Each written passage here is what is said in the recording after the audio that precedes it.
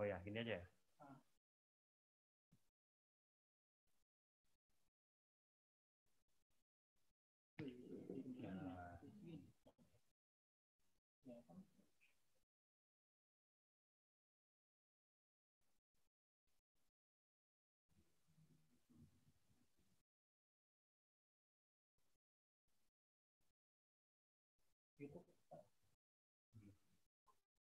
Ini kurang ini pak. Kurang mundur ya. Itu. Oke pak. Atas ya. Pak mundur ya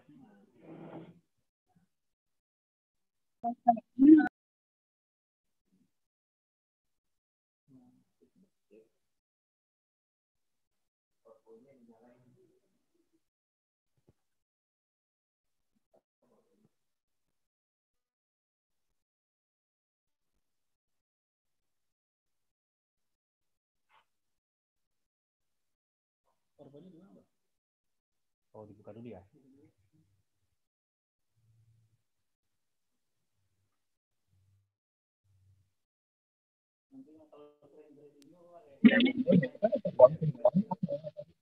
Iya.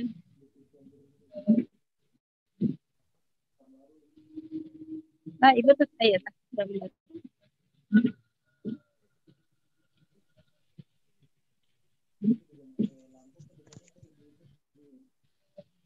Tes. Masuk, Kak.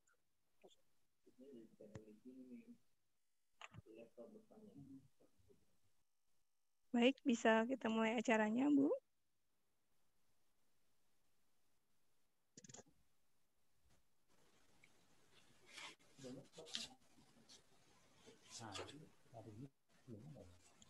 Siapa aja yang udah hadir? Oh, ada gitu ya.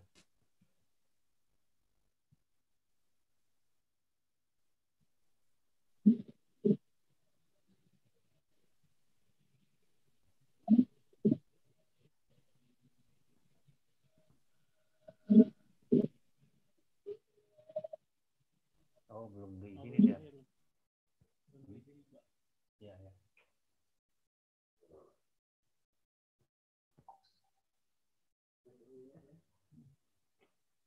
berarti ininya kita masuk dulu pak atas ya Iya.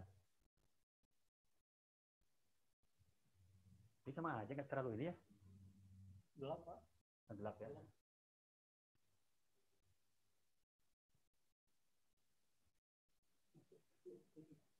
Apa dia? Posisi duduk. Ya, iya, pas gitu ya.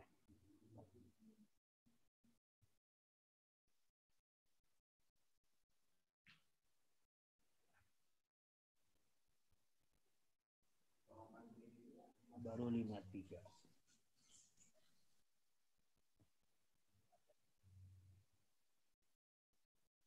Berapa orang Pak?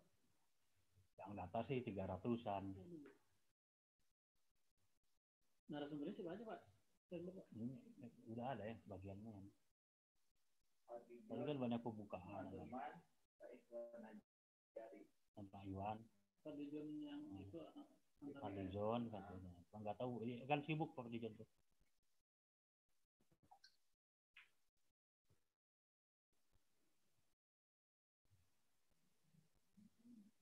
Ini belum ini ya, belum.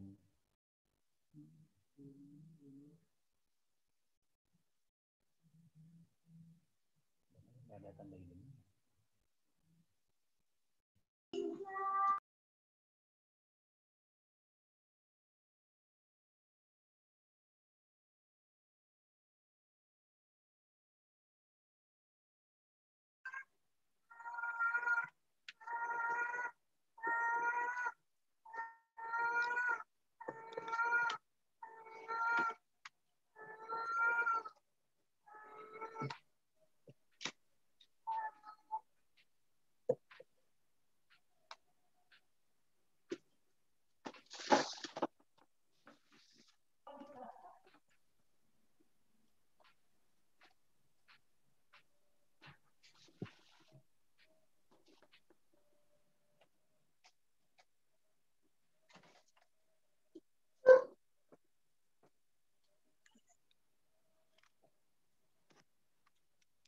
Assalamualaikum warahmatullahi wabarakatuh. Waalaikumsalam. Waalaikumsalam warahmatullahi wabarakatuh. wabarakatuh. Waalaikumsalam warahmatullahi wabarakatuh. Selamat malam dan salam sejahtera bagi kita semua.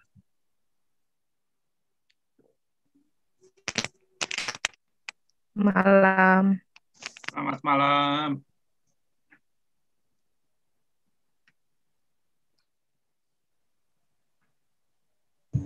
Suaranya hilang. Betul. Orang hilang Bajeng. Semuanya hilang. Yang kami hormati Direktur Utama Taman Mini Indonesia Indah, Bapak Dr. Andes Tanri Balilamo SH. Yang terhormat Kepala Museum Uang Sumatera, Bapak Dr. Saparudin Barus. Yang kami hormati para narasumber, Bapak Dr. Haji Fadlizon SSMSC, Bapak Dr. Nurman Holis, Bapak Mashkur Syafrudin, Bapak Dr. Pil Ihwan Azari MS, Bapak Julianto Susantio. Yang kami hormati pula para praktisi numismatika, kepala museum, pemerhati dan pecinta museum, serta seluruh peserta webinar yang tidak dapat kami sebutkan satu persatu. Puji syukur kita panjatkan kehadirat Allah Subhanahu Subhanahu wa taala, Tuhan yang Maha Esa yang telah memberikan rahmat kepada kita semua sehingga pada malam hari ini Sabtu 14 November 2020 dapat hadir dalam acara webinar Peran Mata Uang dalam Sejarah Perjuangan Bangsa Indonesia yang dilaksanakan dalam rangka memperingati Hari Pahlawan, serta memeriahkan Hari Museum Indonesia.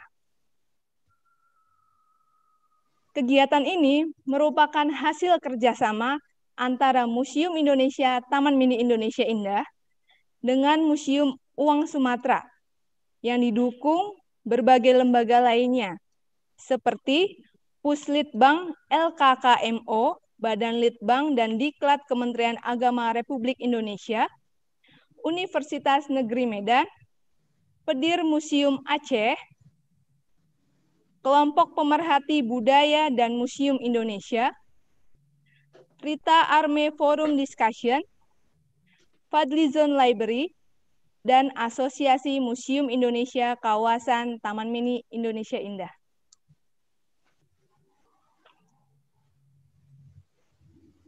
Baik, mengawali acara malam hari ini, mari kita dengarkan bersama-sama lagu kebangsaan Indonesia Raya.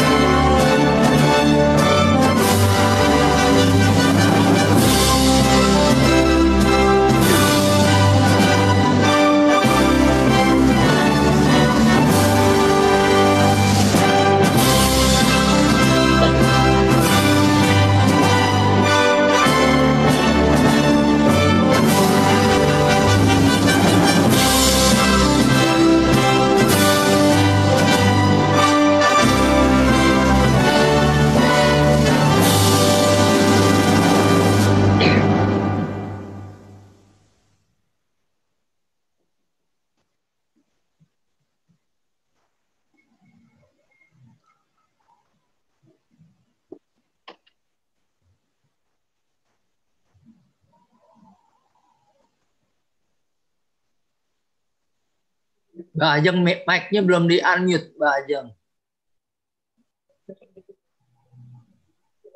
Suaranya nggak terdengar. Baik, Bapak terima kasih. Baik, sebelum kita lanjut ke sesi selanjutnya, mari kita memanjatkan doa kepada Tuhan Yang Maha Esa sesuai kepercayaan masing-masing. Berdoa, kami persilakan.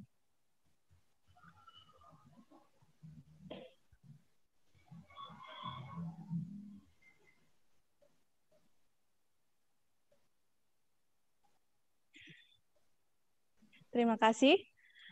Selanjutnya, mari kita dengarkan sambutan dari Kepala Museum Uang Sumatera, Bapak Dr. Saparudin Barus. Bapak Dr. Saparudin Barus, kami persilakan, Pak. Terima kasih Mbak Ajeng.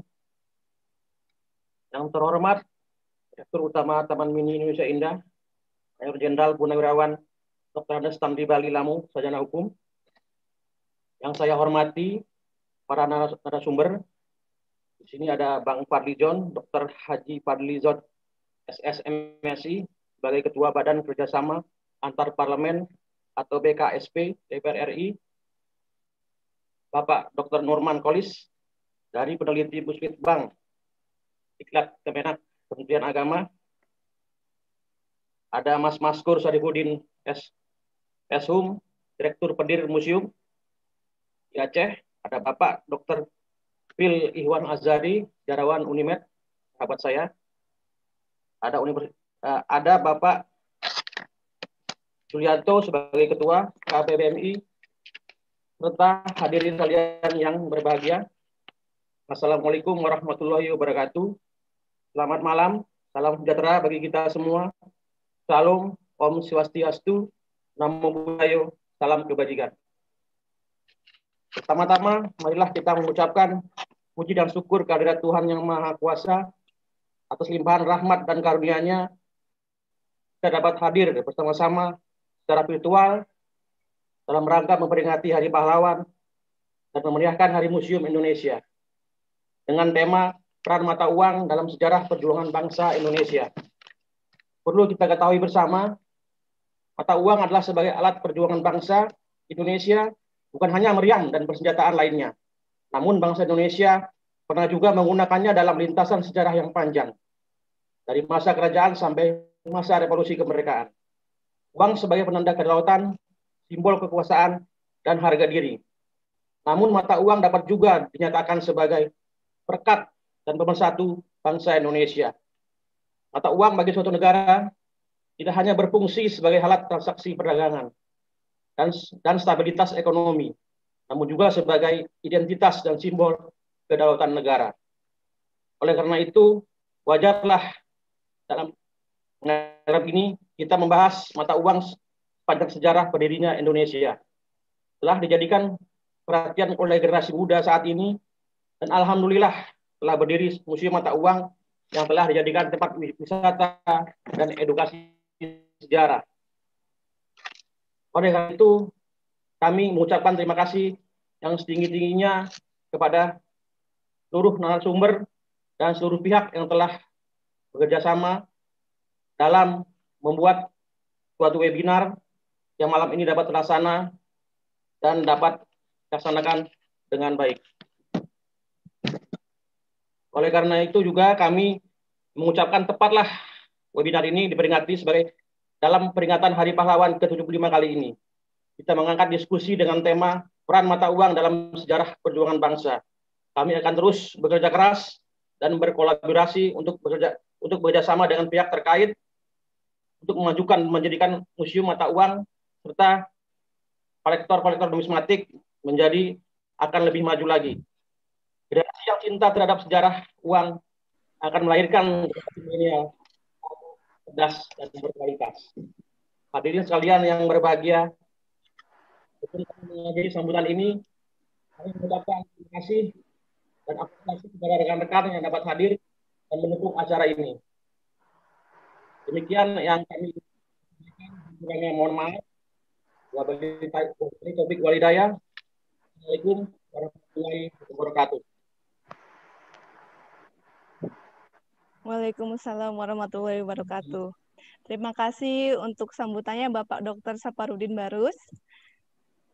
Selanjutnya, mari kita dengarkan sambutan dan pembukaan webinar dari Direktur Utama Taman Mini Indonesia Indah, Bapak Dr. Andes Tantri Balilamo, SH.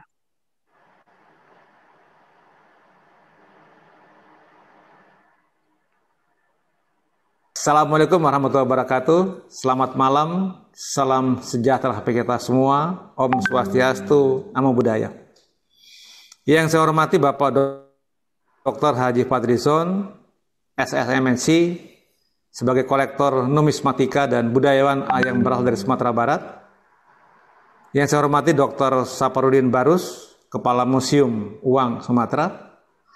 Para narasumber yang hadir pada malam hari ini, Bapak Dr. Haji Fadlison, Bapak Dr. Nurman Kholis, Bapak Dr. Pil Lohman Asari MS, Bapak Maskur Safrudin S.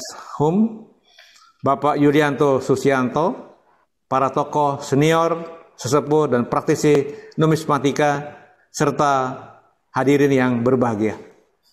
Pertama-tama kita panjatkan puji syukur kepada Allah Subhanahu wa taala karena pada malam hari ini kita bisa bertemu di acara webinar ini untuk berbicara tentang bagaimana uang di Indonesia.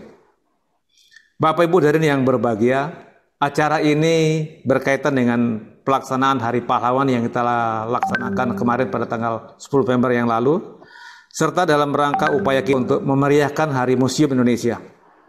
Oleh karena itu, maka Museum Indonesia, Taman Indonesia Indah, melaksanakan kegiatan webinar pada malam hari ini untuk membicarakan tentang bagaimana uang di Indonesia.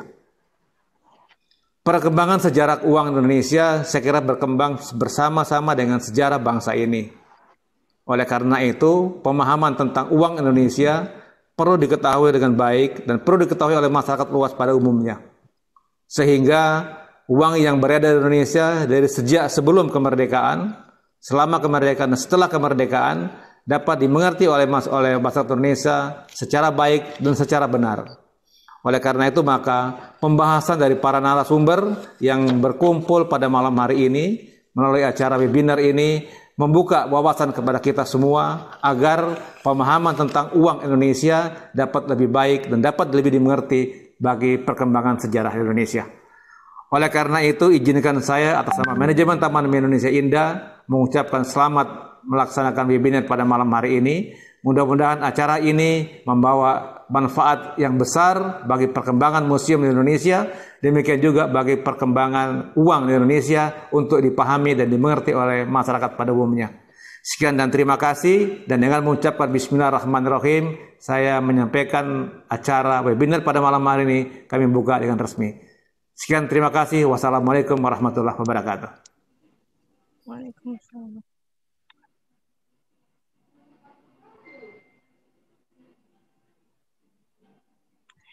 Baik, terima kasih kepada Bapak Dr. Andes Tanri Balilamo, SH, yang telah membuka webinar pada malam hari ini. Sebelum memasuki acara inti, kami ingin mengingatkan kembali bagi para peserta webinar untuk mematuhi peraturan-peraturan berikut ini.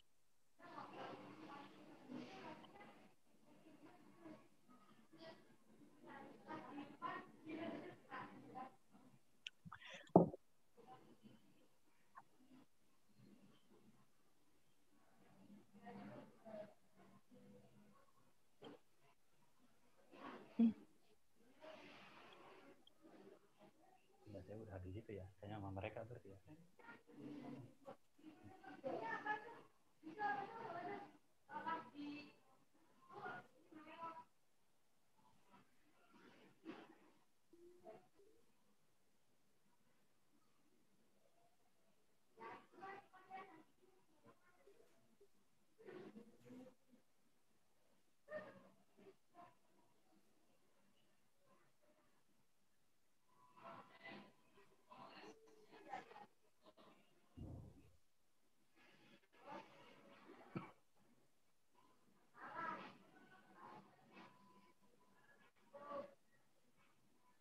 Mbak Baik Ajeng, untuk me Mbak Ajeng ya, di unmute Mbak Ajeng. Iya, iya.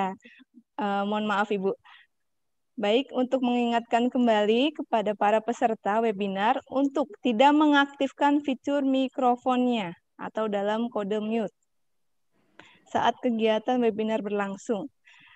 Peserta diwajibkan untuk mengisi link daftar hadir yang akan di-share oleh panitia di chat box. Peserta dapat bertanya kepada narasumber dengan memanfaatkan chat box Zoom atau kolom komentar di YouTube TMII Official dengan format tanya underscore nama penanya underscore asal daerah penanya underscore narasumber yang akan ditujukan pertanyaannya. Jadi harus jelas ya Bapak Ibu sekalian jika ingin bertanya harus ditujukan kepada narasumber siapa. Lalu baru diikuti dengan pertanyaan dari Bapak Ibu sekalian. Terima kasih.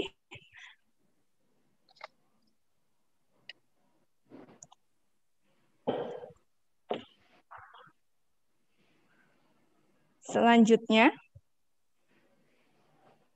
kita akan memasuki acara inti, yaitu pemaparan dari lima narasumber yang akan didampingi oleh moderator kami, Ibu Rita Armelia SH SPN MKN.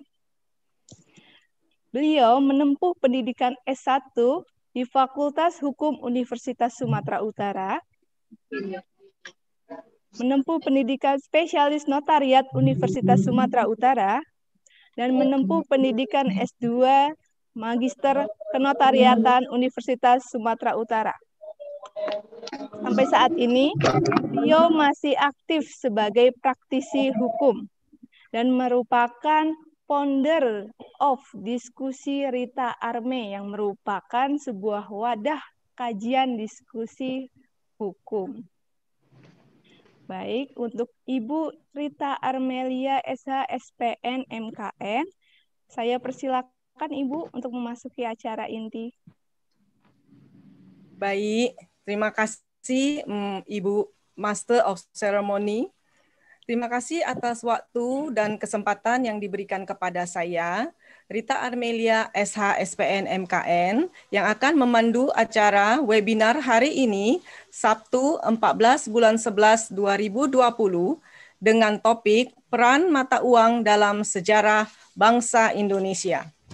Malam ini kita kedatangan narasumber-narasumber yang terpelajar, yakni Bapak Haji Fadli Zon SSMSC, Dr. Nurman Holis, Dr. Bapak Masyur Syarfuddin, Dr. Phil Ikhwan Azhari MS, Bapak Julianto Susantio.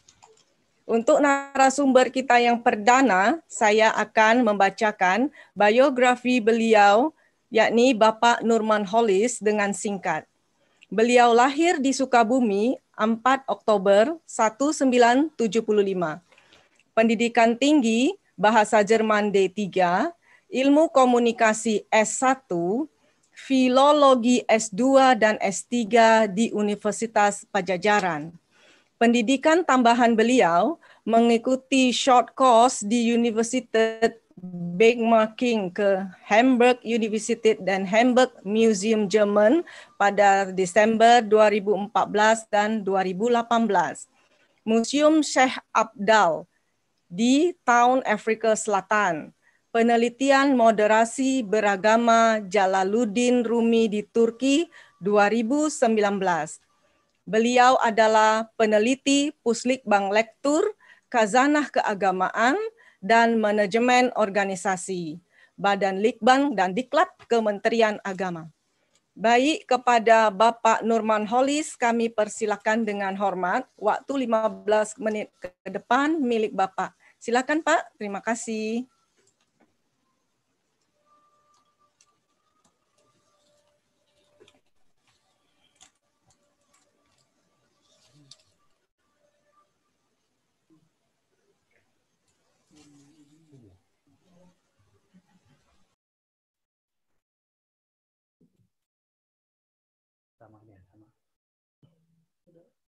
Michelle.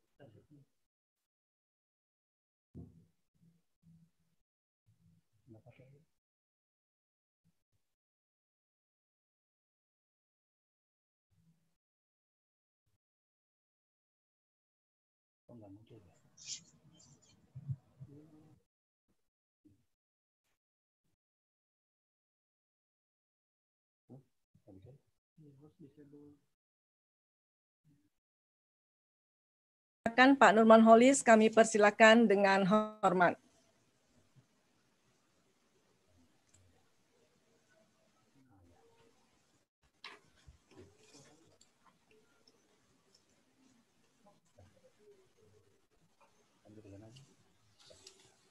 Assalamualaikum warahmatullahi wabarakatuh. Alhamdulillah.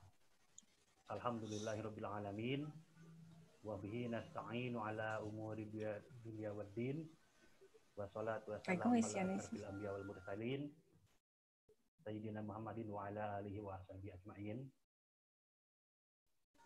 Uh, yang terhormat uh, Bapak Direktur Taman Mini Indonesia Indah, Bapak Sandri Bali Lamo, uh, Bapak Kepala Museum Uang Sumatera, Bapak Saparin Barus, Bu Moderator, Bu Rita, dan juga para peserta webinar. Alhamdulillah pada kesempatan ini uh, kita bisa menghadiri acara Pak Nurman, mohon maaf suaranya bisa dikencangkan sedikit karena terdengar halus-halus, Pak Nurman. Ya. Menghadiri acara uh, webinar ini, uh, yang pertama kami mengucapkan terima kasih atas undangannya dan sekaligus bisa silaturahmi. Uh, apalagi ini terkait dengan uh, Hari Pahlawan dan juga memberiakan Hari Museum yang fokus utamanya tentang sejarah uang di Indonesia. Karena itu, yang pertama saya sebagai peneliti di Pusitbang LKKMO ingin menyampaikan bahwa kira-kira 10 tahun lebih ya, itu Kepala Badan Litbang dan Diklat Kementerian Agama waktu itu, Profesor atau Mudhar menyampaikan bahwa salah satu hal yang belum dilakukan dalam penulisan sejarah masuk dan berkembangnya Islam ke Nusantara dan juga agama-agama lain gitu ya, e, ya umumnya adalah perspektif e, numismatik. Karena itu ini kesempatan e, berharga bagi kita semua. Yang kedua juga kalau bicara uang ya kita bicara secara global, uh, kita pernah baca di media misalnya Pak Jokowi juga uh, pernah mengkritik uh, IMF, Dunia dan lembaga lainnya. Kemudian belakangan ini juga ada seorang dosen dari Universitas Ibrani Israel, uh, Yuval Noah Harari yang uh, sudah banyak bukunya juga apa terjemahannya ya di Indonesia yang beredar. Ya belum menyatakan bahwa sistem keuangan dunia itu yang bentuknya koin dan uang kertas tinggal 10 persen gitu ya. Yang 90 persennya sudah berupa digital. Itu uang kertas dan juga koin ya itu jadi barang langka. Nah di sini pentingnya kehadiran uh, museum. Karena itu semakin digitalnya sistem keuangan ini uh, berpotensi kepada generasi sekarang dan ke depan untuk tidak medulikan koin-koin yang pernah beredar di Nusantara itu sebagai sumber pengetahuan. Nah, apa kaitannya ini uh, dengan terkait apa penyebaran berbagai agama di Indonesia khususnya Islam. Uh, di sisi lain kalau kita lihat misalnya perkembangan uang kertas sendiri uh, bisa dilihat nanti ya terutama di Museum Uang Sumatera Utara. Ini saya kebetulan Bu Moderator saya baru pulang dari Sumatera Utara kemarin habis dari sana Museum Uang. Misalnya kalau lihat dalam uang kertas sebelum cetakan 98 ya itu masih ada tulisan barang siapa memalsukan di situ tuh. Tetapi setelah cetakan 98 ke sini tulisan barang siapa memalsukannya hilang diganti dengan dengan rahmat Tuhan yang Maha Esa eh, Bank Indonesia atau NKRI eh, mengeluarkan uang eh, bla bla bla gitu. Intinya ada kata Tuhan dalam uang kertas rupiah sejak cetakan tahun 98. Jadi itu eh, jadi sudah nuansanya keagamaan uang kertas rupiah yang, beredar itu. Nah, karena itu perlu dikaji sejarah uang yang berada di Nusantara, terutama kaitannya dengan perkembangan berbagai agama, khususnya Islam. Ya, lanjut.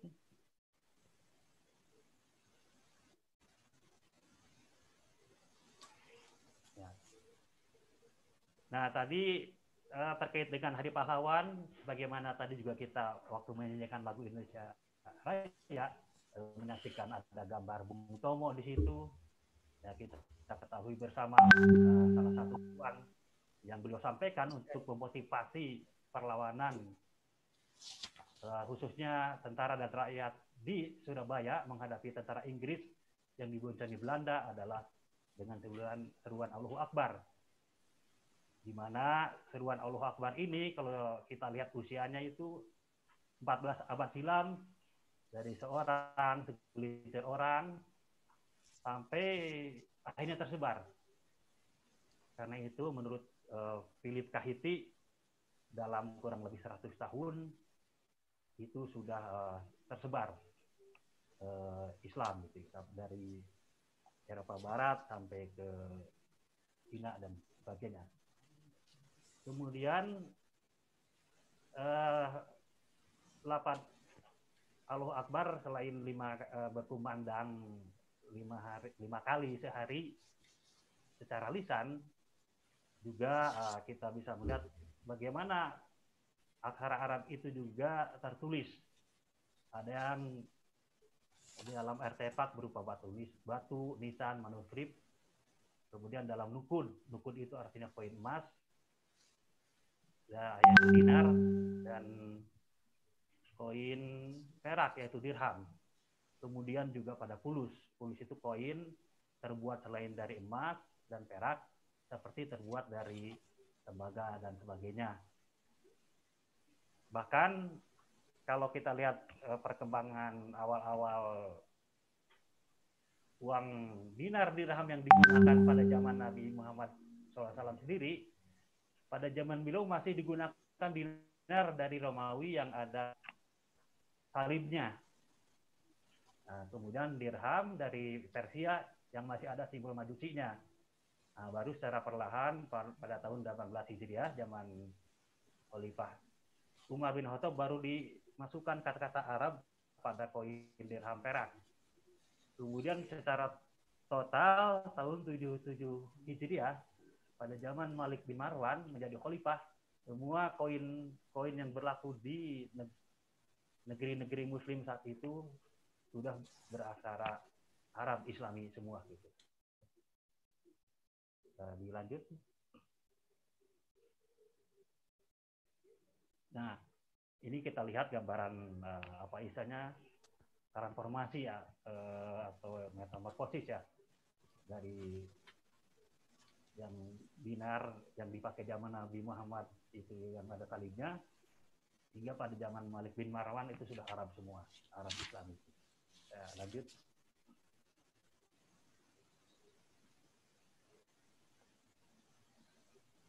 nah air naik.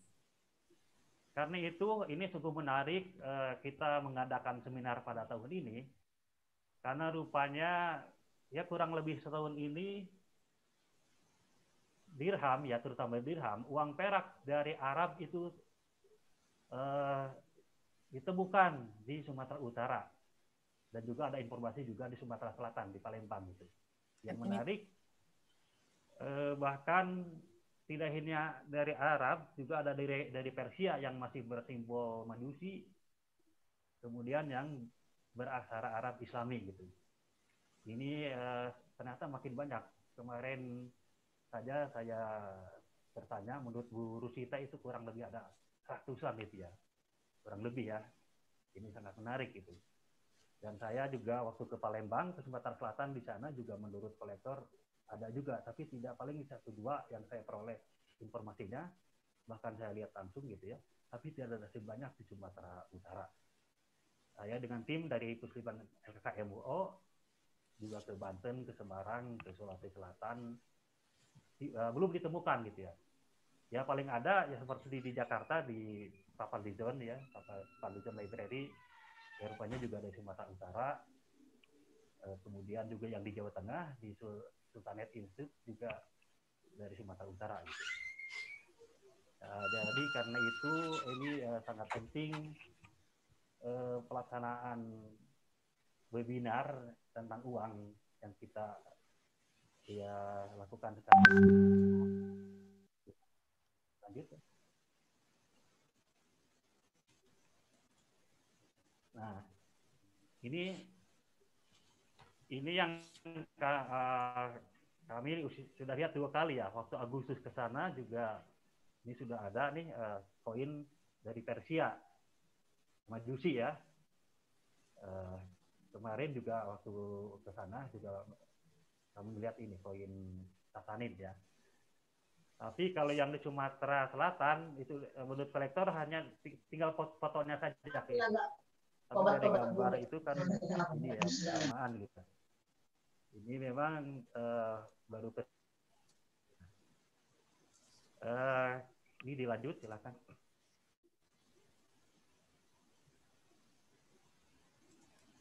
Nah, kemudian kami melakukan uh, semacam apa ya intertekstual uh, berupa gambar gitu ya uh, dari buku ini William Barrett ya Brunei and Nusantara History in Plain Age itu uh, menurut beliau juga ke, di Brunei itu ya, pernah ada koin uh, berjenis sasanid gitu.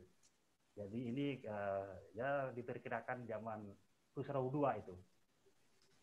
Tahun 591 sampai 628 yang ini diperkirakan koin yang sejenis sebagaimana yang berlaku pada zaman Nabi Muhammad SAW. Koin korak yang digunakan pada saat itu gitu. Uh, silakan dilanjut. Nah, kemudian ini langsung uh, ada koin-koin yang sudah beraksara Arab Islami gitu ya. Uh, di Museum Sumatera Utara yang ditampilkan itu ada lima. Kemudian di Museum Sejarah Quran itu ada tiga yang uh, masih dalam proses penelitian ya Pak Eri Dewa dan timnya dan juga Pak Iwan Azari dan timnya yang di antaranya juga uh, termasuk Pak Safaruddin Barus ya kalau tidak salah ya. Nah dilanjut.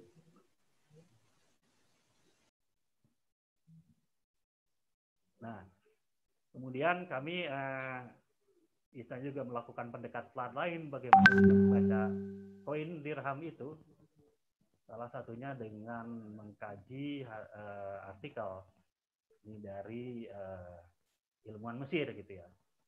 Jadi ini tampak ini koin-koin dirham awal-awal ya. Nah, di sini tampak ada di mukanya itu ada la ilaha illallah wahdahu la syarikalah. La syarikalah ya. Uh, kemudian ada tulisan uh, itu dicetak ya Duri Bahada Dirham di sana Tisawatis Kasafin tahun 69 tahun 79 Hijriah. Kemudian nah ini jadi Pak ini ya, Pak Muhtar ini mengkategori apa ya membuat depan belakang istilahnya itu kalau yang disebut depan itu ada uh, secara umum apa ya kalimat tauhid gitu ya. Kemudian di punggung atau belakang ada surat al-ikhlas ini. Nah, silakan dilanjut.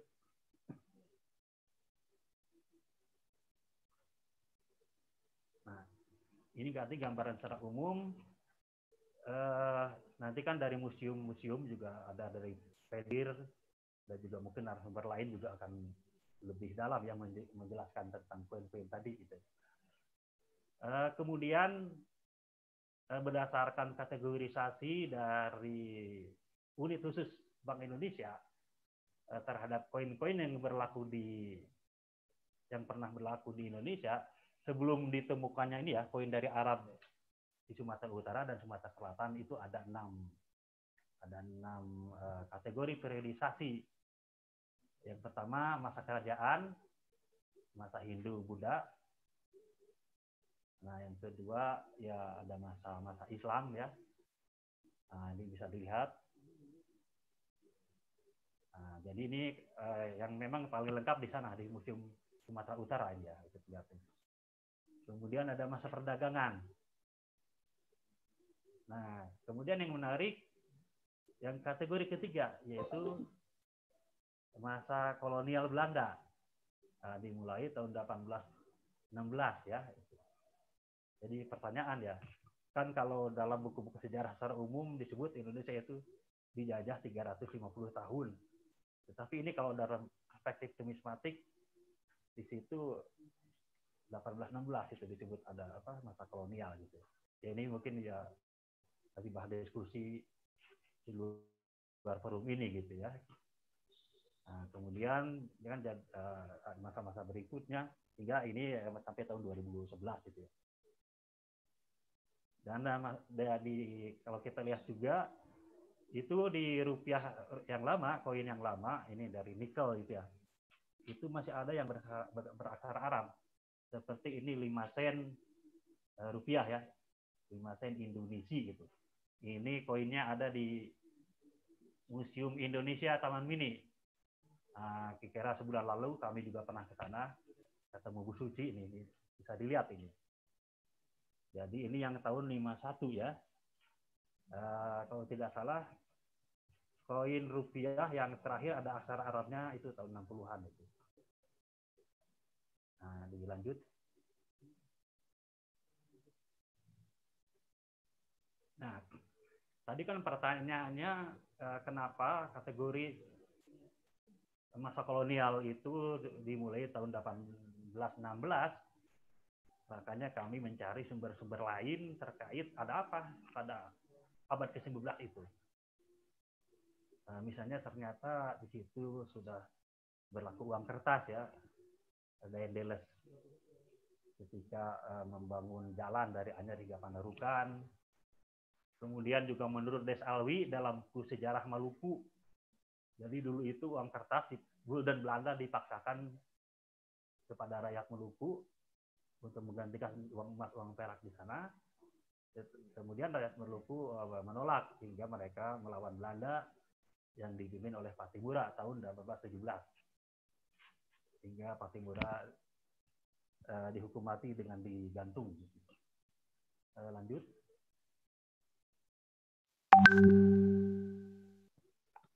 Nah, kemudian pada abad 19 juga ada ulama uh, Mufti Trengganu dalam kitab dalam manuskrip Risalah fi bayani hukmil bai riba. Nah, beliau ini Mufti Terengganu yang sekarang wilayahnya termasuk Malaysia. Uh, itu kurang lebih ada enam salinan manuskrip ini dan salah satu salinannya ada di Lingga Kepulauan Riau. Yang menarik di dalam manuskripnya itu beliau mengutip salah satu hadis ya.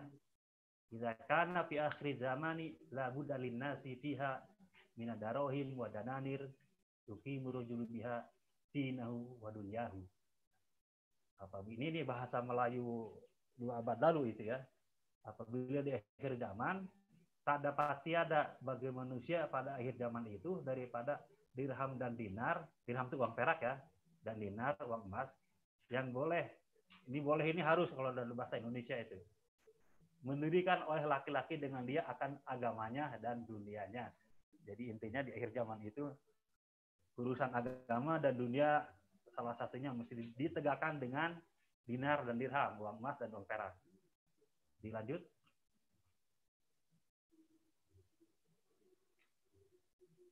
Nah, ini, kemudian pada pada itu juga masih disebut oleh para ulama pentingnya uang emas, uang perak, walaupun tidak menyebut apa uang kertas jadi masih disebut gitu ya gitu Ibnu Syahri Ayi Ali Salat itu menyebut tentang dirham Jawa ya. Nah, dilanjut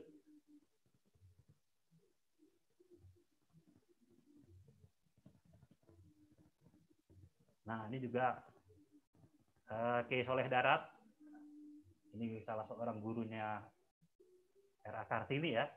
Uh, juga menyebut ini bahwa Allah telah memenuhi kebutuhan manusia dengan menciptakan emas dan perak. Kemudian dijadikan dinar, emas ya, yang bahannya emas itu ya, dan dirham yang bahannya perak sebagai alat transaksi. Nah, kemudian juga tentang bahwa uh, hukum pencurian dipotong tangan ber, kalau pencurian pencuriannya itu mencapai seperempat dinar.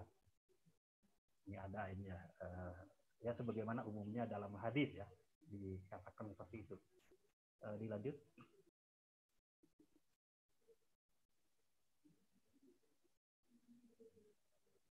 Nah, baru pada ya akhir abad 19 atau mungkin sudah masuk abad ya 20 ya, baru ada kritik terhadap uang kertas dari Syekh Ahmad Khotib Al-Minangkabawi. Nah, beliau ini gurunya, salah seorang gurunya eh, pendiri Muhammadiyah, Kiai Haji Ahmad Dahlan dan juga pendiri NU, Kiai Haji Hashim Asy'ari gitu. Nah, jadi menurut beliau kan secara umum dalam istilah Islam itu eh, kalau sekarang juga di pesantren-pesantren masih familiar. Ada nukud, ada fulus ya. Nah, nukud itu uang emas, uang perak, dinar dan dirham. Itu nukud ya.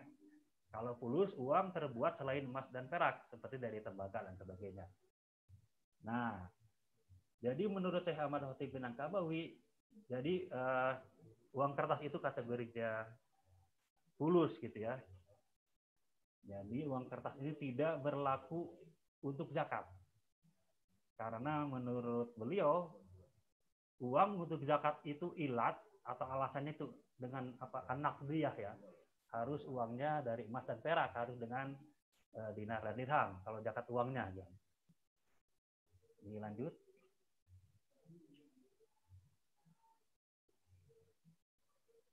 Makanya ini ada ini ini kata beliau ya, ya pada uh, kira awal abad 20 lalu gitu.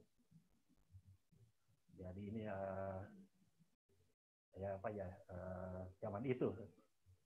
Uh, dilanjut kemudian kemudian zaman fatwa NU tahun 20-an juga tidak boleh zakat dengan uang kertas.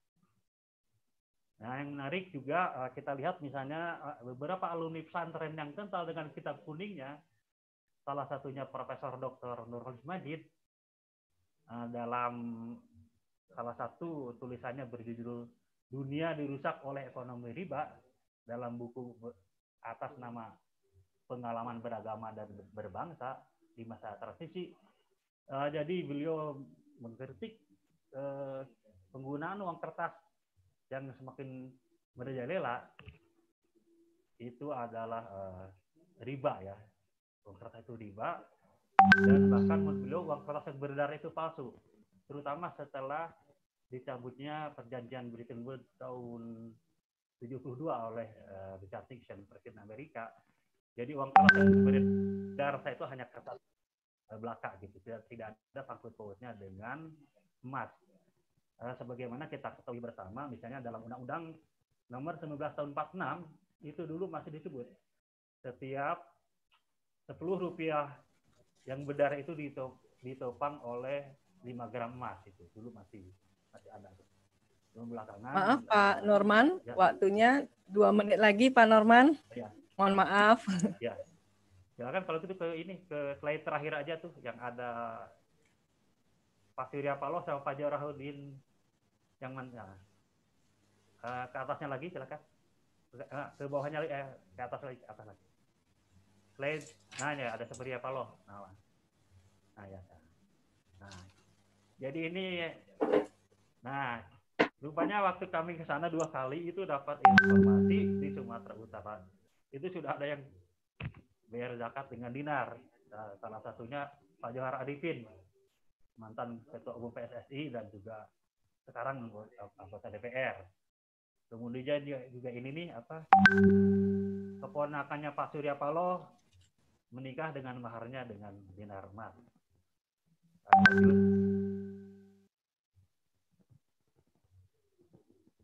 Dilanjut. Nah, kemudian ini juga uh, ya uh, pernah bertemu juga nih dengan Bang Padi uh, vokalis grup band Padi ya nah, kalau tadi Pak Johar Arifin dan Pak Allah terkait dinar atau emas kalau ini terkait dirham atau perak. Nah, jadi ini uh, kemudian juga ini di uh, Kepulauan Riau di Tanjung Pinang ya. Ini mantan Bupati Kepulauan Riau sekaligus penggagas menjadi uh, dari kabupaten menjadi provinsi ya Sultan Hujirin Hud sedang memperkenalkan uh, dirham cetakan uh, di Tanjung Pinang ke Kesultanan Bintan ya. Waktu itu uh, sedang ada kuliah umum di Sepain Sultan Abdurrahman uh, bersama dengan uh, Sekretaris Jenderal Kementerian Agama saat itu, Profesor Nurholis Setiawan yang sekarang uh, guru besar di UIN Jogja. Gitu. Jadi ada semacam perkenalan. Ya, dilanjut. Nah, jadi ini uh, terakhir ini waktu pengalaman saya dua tahun lalu ke Hamburg. Ini di museum, walaupun di Jerman muslimnya hanya ya 5 juta dari 80 jutaan itu sudah tampak sekali wawasan globalnya sehingga di sini selain aksara dan bahasa Jerman juga ada bahasa Inggris dan yang bahasa Arab dapat selamat datangnya gitu ya. Uh, jadi uh, demikian. Uh, dan di, uh, nanti kita uh, bisa diskusi baik dalam forum sekarang maupun di forum-forum yang lain. Dan juga nanti uh, ya mudah-mudahan dari forum ini kita bisa menghasilkan misalnya uh, ini uh, terkait koin atau apa numismatik gitu ya. Selama ini belum diakomodir dalam undang-undang. Misalnya dalam undang-undang cagar budaya dan undang-undang pemajuan kebudayaan itu kalau tidak salah tidak disebut. Berbeda dengan manuskrip cerita lisan, nah itu disebut sebagai bahan untuk kemajuan kebudayaan. Nah, jadi uh, demikian. Assalamualaikum warahmatullahi wabarakatuh.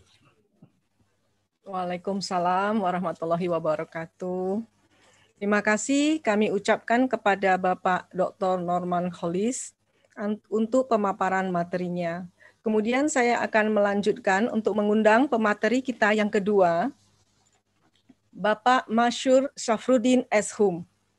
Saya akan membacakan biografi beliau. Lahir di Blanglong 5 Juli 1997. Beliau adalah Direktur Pedir Museum.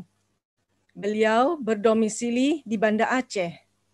Menempuh S1 di UINR Raniru, Raniri. Dan beliau adalah merupakan seorang pembicara narasumber di berbagai lembaga dan instansi. Kami undang pemateri berikutnya Bapak Mansur Syafruddin Eshum. Silakan kepada Bapak kami persilakan dengan hormat.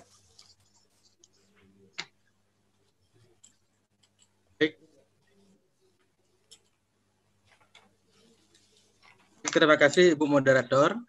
Terima kasih Pak. Uh, Bismillahirrahmanirrahim. Assalamualaikum warahmatullahi wabarakatuh. Waalaikumsalam. Uh, yang saya hormati Bapak Direktur Umum Direktur Utama Taman Mini Indonesia Indah. Kemudian yang saya hormati sahabat kami Bapak Saparudin Barus, Kepala Museum Uang Sumatera. Yang kami hormati Bapak Dr. Haji Fadlizon, Pak Dr. Nurman Khalis, Pak Dr. Phil Ikhwan Azhari di Medan, dan Bapak Julianto Susantio Uh, senang bisa bertemu di dalam kesempatan yang uh, baik ini untuk membicarakan uh, peran mata uang dalam sejarah perjuangan bangsa Indonesia. Uh, mungkin tadi yang apa pembicara pertama sudah memaparkan dengan dengan panjang lebar bagaimana perkembangan sejarah mata uang dunia Islam dan saya akan ingin mencoba mungkin secara khusus untuk membicarakan tentang numismatik Aceh dan ingin saya kaitkan dengan uh, bagaimana peran mata uang Aceh dalam uh, perjuangan bangsa Indonesia bahkan bangsa bangsa-bangsa Islam di Asia Tenggara. Uh, baik, mungkin slide-nya sudah bisa di-sharekan. Ya, di next. Saya membicarakan pada uh, saya ingin berbicara tentang sejarah dan keragaman numismatik Aceh. Uh, persoalan numismatik adalah persoalan yang uh, jarang sekali dibicarakan sebenarnya dalam konteks sejarah dan kita bersyukur dengan hadirnya para pegiat numismatik, para kolektor, kemudian juga dengan hadirnya uh, Museum Uang Sumatera ini sudah membuka suatu ruang baru, membuka sesuatu hal yang uh, dapat diperluas kajian-kajian tentang numismatik Aceh. Numismatik uh, apa di, di Nusantara. Aceh secara khusus kita memang sangat kekurangan para pakar numismatik. Setelah meninggal Profesor Dr. Tuku Ibrahim Alfian tahun 2006, kita di Aceh kekurangan orang dan tidak ada yang betul-betul menjadi pakar numismatik Aceh. Dan Beberapa tahun terakhir, Pendirian Museum telah berusaha untuk uh, mengikuti jejak langkah Museum Uang Sumatera untuk mengumpulkan koleksi-koleksi mata uang Aceh dan mata uang dunia Islam, bahkan mata uang kerajaan-kerajaan yang ada di Nusantara ini. Uh, pertama, slide, uh, maaf, slide-nya sudah tampil? Belum?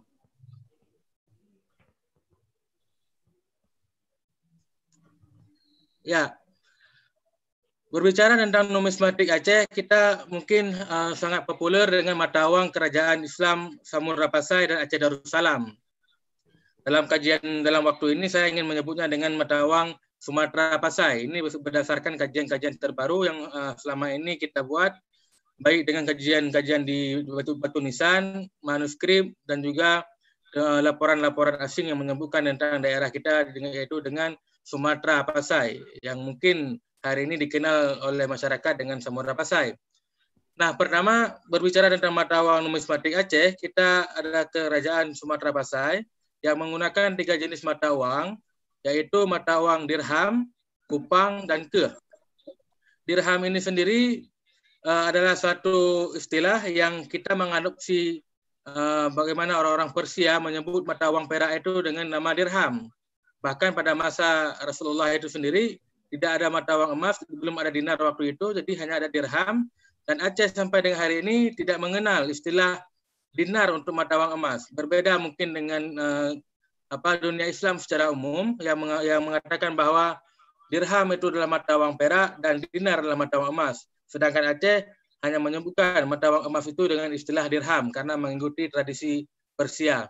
Kemudian untuk jenis mata uang perak sendiri, uh, Samura Pasai juga diikuti dengan Aceh Darussalam uh, pada abad ke-16 dan seterusnya menyebut mata uang perak itu dengan istilah kupang atau gupang yaitu mata uang perak dengan uh, pecahan empat keping mata uang kupang itu sama dengan satu keping dirham emas yang beratnya 0,6 uh, gram atau 600 miligram. Kemudian di bawah kupang mata uang perak itu ada istilah mata uang busuk, yaitu pecahan untuk dua keping mata uang perak yang lebih kecil yang sama dengan dengan satu kupang uh, atau empat uh, kupang yang kemudian sama dengan satu dirham. Kemudian juga ada mata uang yang yang yang apa yang paling rendah yang disebut dengan keh, yaitu mata uang yang terbuat dari timah.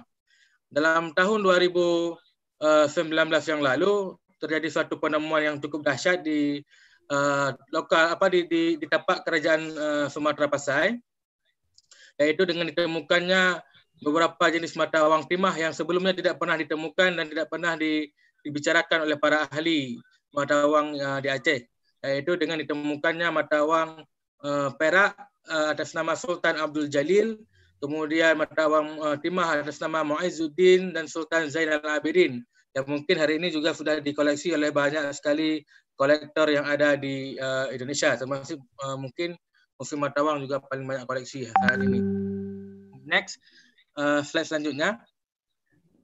Uh, ya untuk berat sendiri kita melihat bahwa Matawang Sumatera Pasai atau dirham Sumatera Pasai yang lebih identik untuk koin emas itu itu berukuran 10 mm sampai dengan 12 mm dengan berat 0,38 untuk pecahan seperlapan emas dan 0,58 sampai dengan 0,60 eh, gram untuk pecahan seperempat emas. Jadi eh, ada satu kajian terbaru hari ini mungkin yang selama ini dikoleksi oleh para kawan-kawan numismatik bahkan juga disajikan dalam kajian-kajian di berbagai museum di Indonesia bahwa Matawang uh, Samura Pasai yang paling tua adalah Matawang tahun 1297.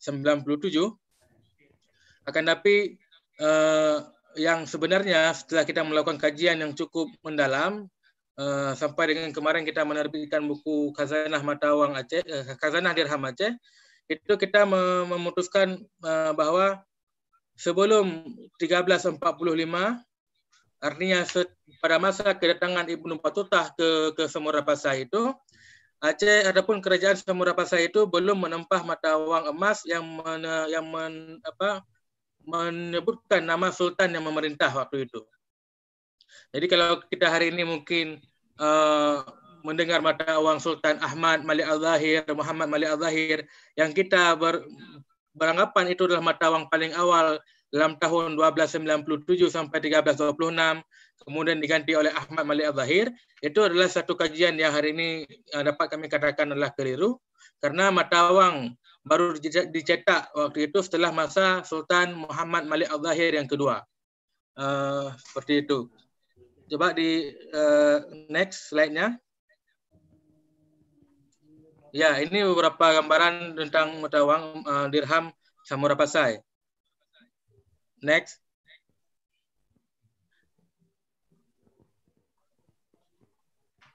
Lanjut.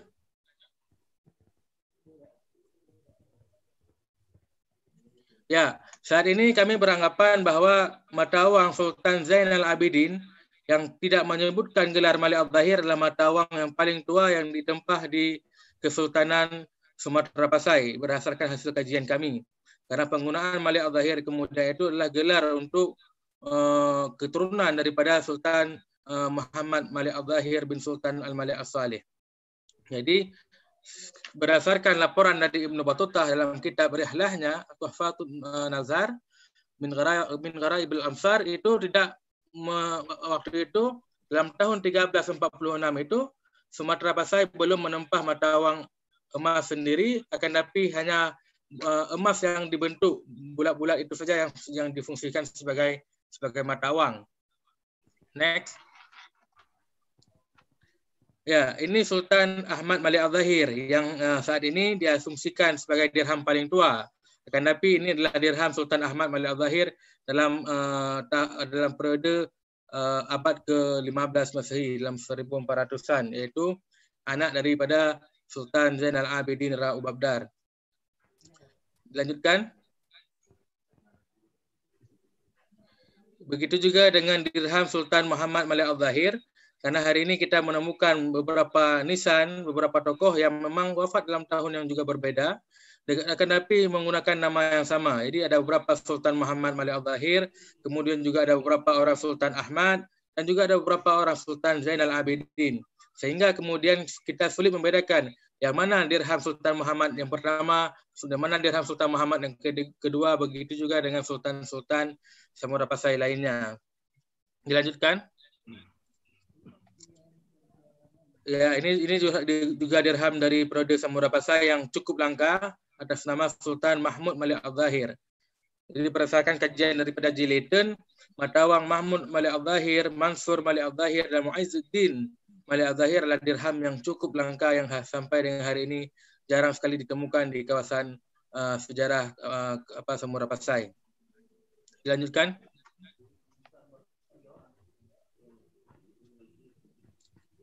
Ya, ini juga dirham yang uh, salah satu dirham yang dalam ukuran besar, akan tapi juga dengan berat yang yang sama, yaitu Sultan Zainal Abidin Malik Al-Zahir bin bin Ahmad. Uh, dirham ini berukuran 12 mm, berbeda dengan dirham-dirham sebelumnya dari produksi Murapasa yang uh, ditempah dalam berat dalam ukuran 10 uh, mm. Lanjutkan.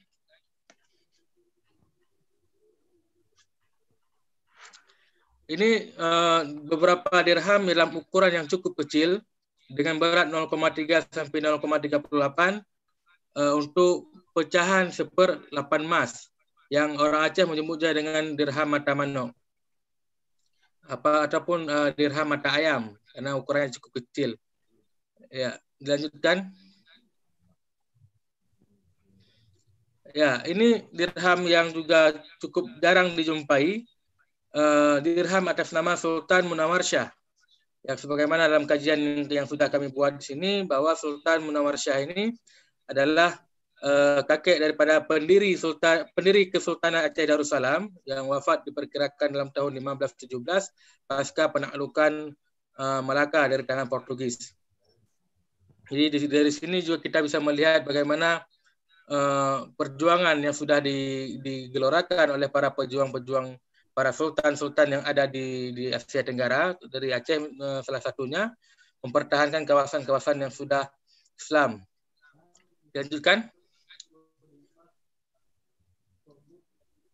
Ini contoh matawang Kupang, matawang yang terbuat dari perak atas nama Sultan Ahmad Shah bin Sultan Muhammad Malik Al-Zahir. Next.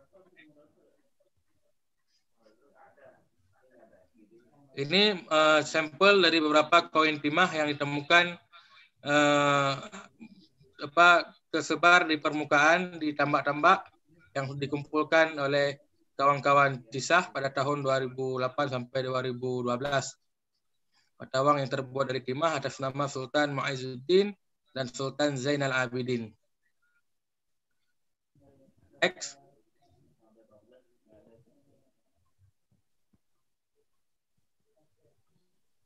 Ini salah satu matawang uh, atas nama Sultan ataupun ke, garis keturunan daripada kerajaan Sumatera Basai, Kesultanan Sumatera Basai. Akan tapi matawang ini sampai dengan saat ini tidak ditemukan satupun di tapak kerajaan Sumatera Basai di Aceh, melainkan ditemukan di Palembang. Jadi sampai dengan saat ini hanya sudah ditemukan lima keping matawang ini atas nama Sultan Munawar Shah bin Muhammad eh, bin Ahmad bin Muhammad bin Al-Malik As-Salih. Jadi sampai dengan saat ini juga menjadi PR eh, kami di Aceh untuk menemukan matawang ini karena beliau memiliki keturunan kepada Sultan ataupun pendiri dinasti Salihiyah di kerajaan Sumatera Pasai, tapi matawangnya sampai dengan saat ini ditemukan di Palembang. Next.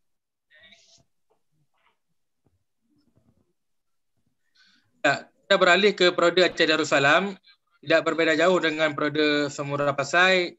Uh, untuk penggunaan mata wang emas juga uh, dalam ukuran 12 mm sampai dengan 14 mm dengan berat 0,58 sampai dengan 0,60 atau untuk pecahan seperempat emas. Bahkan dalam periode Aceh Darussalam ini juga ditempah mata wang yang cukup besar matawang emas dengan berat 2,4 gram atau untuk pecahan satu emas. Next.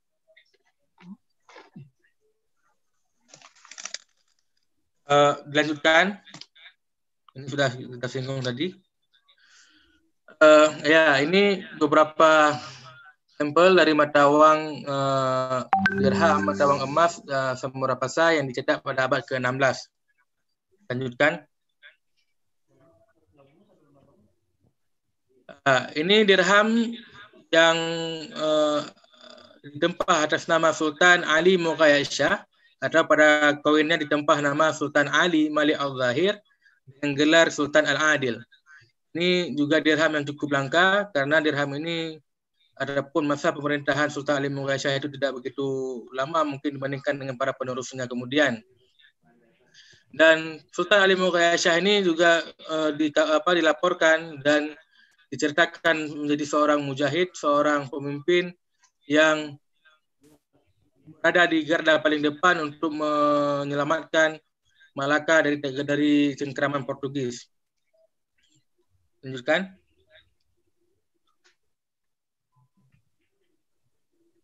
Nah, di dalam kitab Tuhfatul Mujahidin, di Akhbarul Burtaghalin, karangan daripada Syekhul Islam Ahmad Zainuddin Asy-Syafi'i Al-Malibari, Uh, seorang ulama yang cukup terkenal, pengarang kitab Fathul Mu'in. Beliau menuliskan tentang Sultan Ali Mughayashah ini. Nah, dari sini kita bisa melihat bagaimana perjuangan Sultan Ali Mughayashah eh, dalam mempertahankan ataupun menyelamatkan kota-kota Islam di Asia Tenggara termasuk yang paling utama adalah yang berada di Sumatera. Kutipan dari kitab Tuhfatul Mujahidin ini adalah dan mereka orang-orang Portugis semoga Allah mengalahkan mereka mendatangkan berbagai barang dari negeri-negeri yang jauh. Mereka menjadi ramai dan bertambah banyak di berbagai kawasan. Para penguasa berbagai pelabuhan menuruti kehendak mereka sehingga mereka sepenuhnya memegang tali kendali atas pelabuhan-pelabuhan tersebut. Pelayaran hanya dapat dilakukan dengan jaminan keamanan dari mereka. Perdagangan dan kapal-kapal mereka bertambah banyak dan sebaliknya, perdagangan muslim di luar kapal-kapal dan benteng-benteng mereka semakin merosot. Tidak ada seorang pun dapat merebut kota-kota pelabuhan itu selain Sultan yang mujahid Ali Al-Ashi, yaitu Sultan Ali Mughayashah dari Aceh. Semoga Allah menerangi, menerangi kuburnya. Dialah yang telah menaklukkan Sumatera dan menjadikannya sebagai negeri Islam. Semoga Allah membalas kebaikannya kepada muslimin dengan sebaik-baik balasan. Sebagaimana kita ketahui bahwa pada awal abad ke-16, Samura Pasai ataupun Sumatera Pasai waktu itu ditaklukkan diserang oleh Portugis dan banyak sekali pelabuhan-pelabuhan itu dari Goa sampai ke Asia Tenggara ini diblokade oleh orang Portugis dan Ali Mughal Syah ini adalah tokoh yang berhasil membebaskan itu. Dan hari ini kita eh, bisa melihat matawang beliau yang menjadi satu bukti bagaimana uh, kehebatan uh, pada masa beliau dalam mendirikan ataupun pada saat mendirikan Kesultanan Darussalam dengan menyatukan kerajaan-kerajaan yang ada di, di Aceh dan di Sumatera waktu itu. Lanjutkan. Uh, maaf Pak Masyur Safrudin, waktunya dua menit ke depan. Terima kasih. Ya, uh, dilanjutkan uh, ke bagian yang terakhir. Uh, ya, ini lanjutkan. Next. Ya, stop di sini. Di Sultan Iskandar Muda, sebagai uh, mana yang kita ketahui bahwa uh, kita mengen ke belakangnya sudah lewat slide-nya. Sebelumnya, sebelumnya. Satu lagi.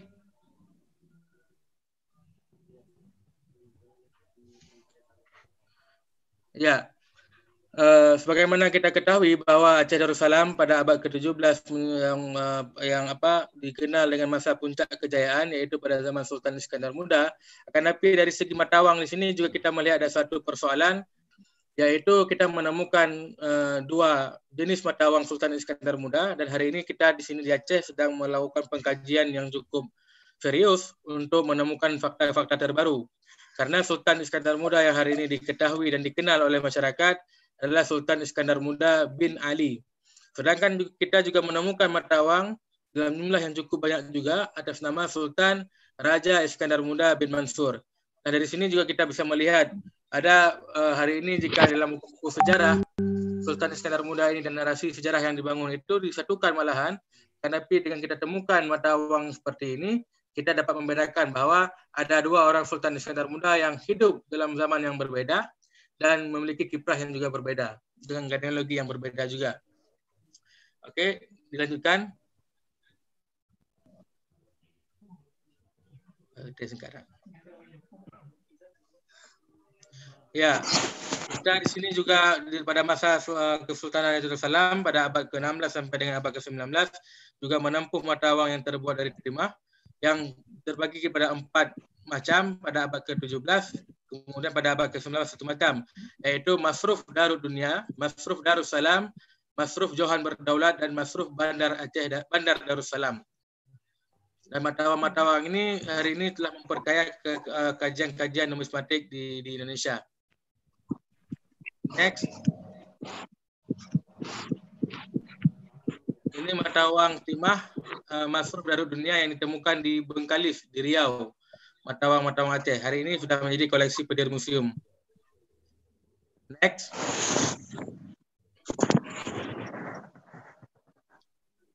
Dilanjutkan ke bagian akhir.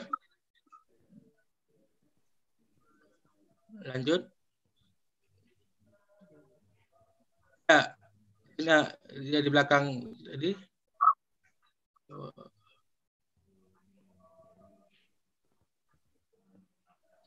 Aceh Dokris, uh, di bagian Aceh Dokris.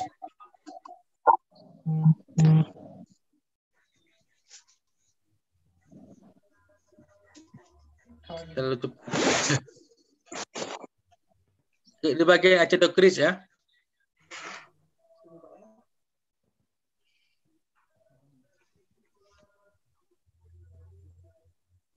Satu lagi ke belakang.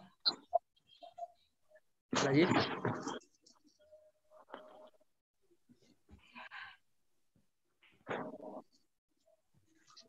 Dokris. Itu sudah akhir itu. Jadi uh, uh, di Aceh Dokris, jadi ada satu percetakan pada zaman uh, pendudukan ataupun kolonial Belanda di di Aceh. Itu dibangun Aceh Dokris, cetakan Aceh, dan di situ uh, kita mendapatkan informasi bahwa matawang-matawang Orida Aceh itu, uang Republik daerah itu Aceh uh, dicetak di Aceh Dokris. Ada pecahan 250 rupiah, pecahan 10 rupiah yang dicetak di Kutaraja, itu dicetak di Aceh Dokris. Atas, uh, ya, atas satu lagi. Itu kondisi Aceh Dokris sekarang. Itu uh, ya gambar hitam putihnya itu Aceh Dokris pada, pada zaman Belanda. Kemudian ada satu gambar yang kondisinya sekarang yang hari ini difungsikan sebagai uh, tempat ataupun apa pasar toko pakaian. Jadi sangat kita sayangkan. Bahkan kita tidak mengetahui di mana sekarang alat-alat percetakan itu berada. Kalau di musim uang Sumatera mungkin hari ini disimpan beberapa uh, cetakan-cetakan uang uh, daerah itu. Akan tapi untuk uang daerah Aceh sendiri yang dicetak di Kutaraja, Aceh Dokri itu kita tidak tahu sekarang di mana alat cetaknya. Kan bangunannya saja hari ini difungsikan sebagai toko pakaian sangat disayangkan. Padahal di bangunan ini terjadi suatu peristiwa besar pada masa pendudukan Jepang, kemudian sampai dengan dicetaknya uang daerah untuk uh, apa yang dicetak di Kutaraja pada tahun 1949. Slide terakhir, karena waktu yang cukup singkat ya. Slide yang terakhir yang untuk hmm, buku khazanah uang khazanah dirham Aceh ini adalah satu kajian terbaru kami uh, mencoba untuk merekonstruksi kajian-kajian matawang yang selama ini sudah dibuat oleh para pakar ataupun oleh para sejarawan baik lokal maupun internasional. Misalnya kita melihat kajian-kajian matawang hari ini di, uh, dibuat oleh Leighton orang Belanda, kemudian Falangan juga orang Belanda, kemudian orang lokal kita ada Pak Teguh Ibrahim Alfian, tapi sekarang dengan temuan-temuan terbaru di Aceh, berupa batu nisan, manuskrip, dan matawang-matawang ini, kita ingin merekonstruksi kajian baru. Dan hari ini sudah diberikan, bukunya sudah rampung, yaitu buku Khazanah Aceh, uh, Dirham Aceh. Jadi kita baru fokus untuk matawang emas, dan selanjutnya kita akan menerbitkan uh, Khazanah Numismatik Aceh. Jadi untuk mengumpulkan semua ataupun keragaman numismatik yang ada di Aceh. Terima kasih. Uh, nanti bisa kita lanjutkan sesi diskusi. Terima kasih kami ucapkan kepada Bapak Masyikur Syafruddin Eshum atas pemaparan materinya.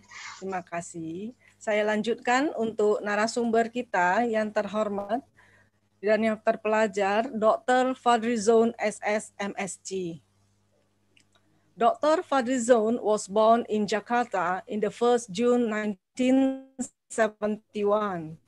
Holds a bachelor degree in of Indonesia a master degree in development studies from London School of Economics and Political Science in United Kingdom, and a doctoral degree in history of economic from University of Indonesia.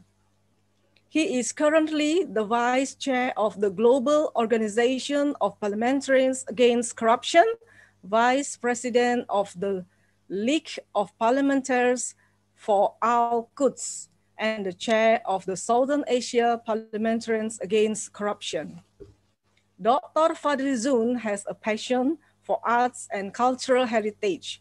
He established Fadli Zone Library in 2008 in Jakarta, Fadli Zone Culture House in West Sumatra, Fadli Zone Creative House in Depok, Sundanese Cultural Village in Bogor Regency, West Java, and received 30 Indonesian Records Museum Awards for his collection and other activities.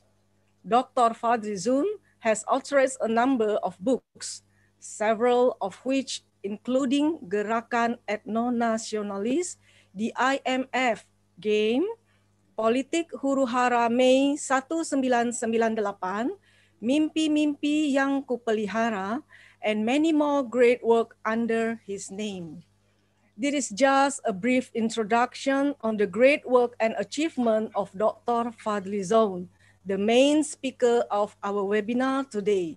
We welcome Dr. Fadli Zone for his willingness to be present among us in spite of his busy schedule. Dr. Fadli Zone, please, the time is yours. Silakan Bapak Dr. Fadli Zun. Silakan. Terima kasih. Assalamualaikum warahmatullahi wabarakatuh. Selamat malam dan salam sejahtera untuk kita semua. Terima kasih saya diundang untuk sebuah uh, webinar tentang peran mata uang dalam sejarah bangsa. Uh, dan terima kasih atas introduksinya dari moderator.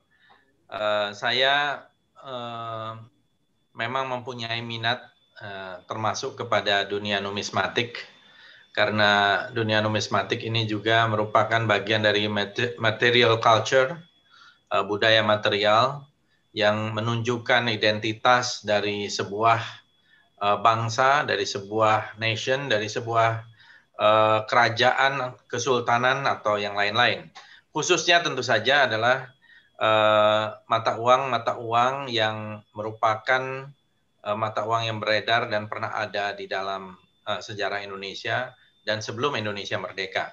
Jadi saya untuk introduksi juga, saya juga mengumpulkan mata uang berbagai kesultanan di Nusantara, seperti mata uang dari Kesultanan Cirebon, dari Samudra Pasai, dari uh, Kerajaan Aceh, Kesultanan Aceh, dari uh, sampai Manuk, Maluka, lalu gobok wayang, Cirebon, dan seterusnya, termasuk uang-uang naming. Dan uh, banyak mata uang yang Hindia Belanda uh, dari berbagai tahun penerbitan uh, logam maupun kemudian uh, uang kertas uh, dan juga uh, ini terkait dengan salah satu juga hobi yang lain yaitu filateli dan saya menjadi ketua perkumpulan filatelis Indonesia sampai tahun 2022 ini. Jadi memang dunia numismatik ini dekat dengan dunia filatelis, dengan dunia filateli. Nah, dan uh, memang sayangnya uh, referensi atau uh, data tentang atau kajian tentang mata uang ini tidak belum terlalu banyak ya.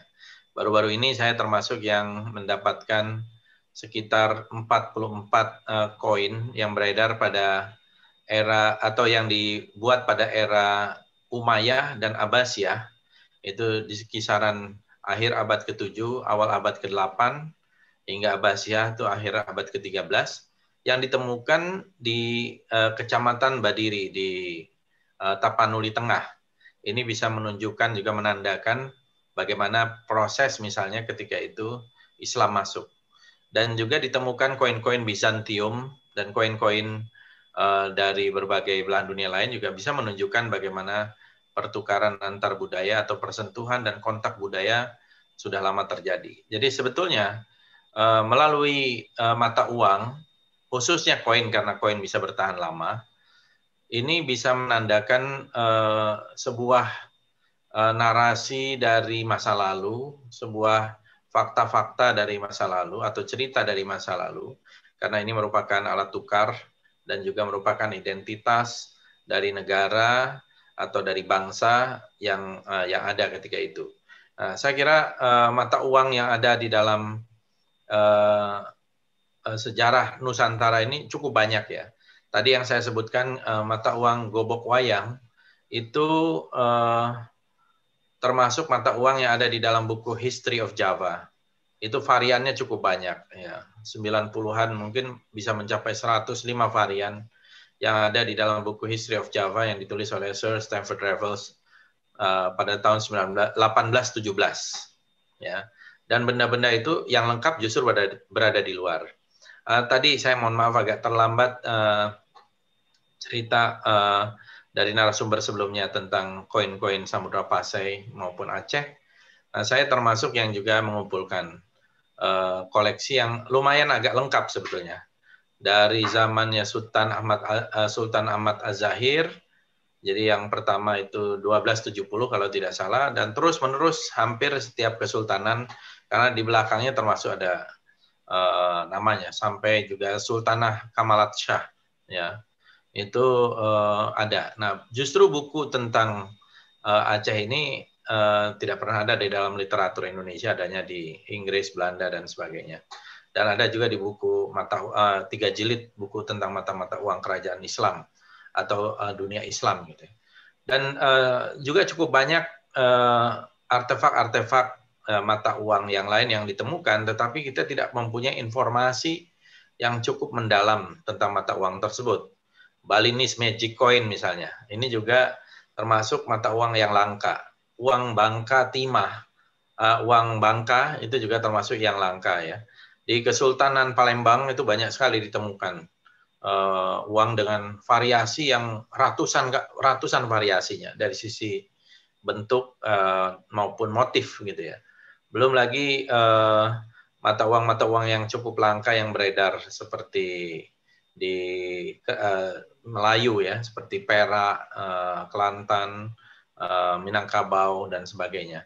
Jadi uh, ini menunjukkan bahwa mata uang adalah jelas sebuah benda yang sangat vital ketika mengidentifikasi sebuah entitas kultural gitu ya atau bangsa dan di situ menjadi alat tukar. Jadi ketika bangsa itu berkembang dan mau berinteraksi dengan yang lain dan satu sama lain internal maupun eksternal, tentu akhirnya uh, mereka harus memiliki mata uang ini.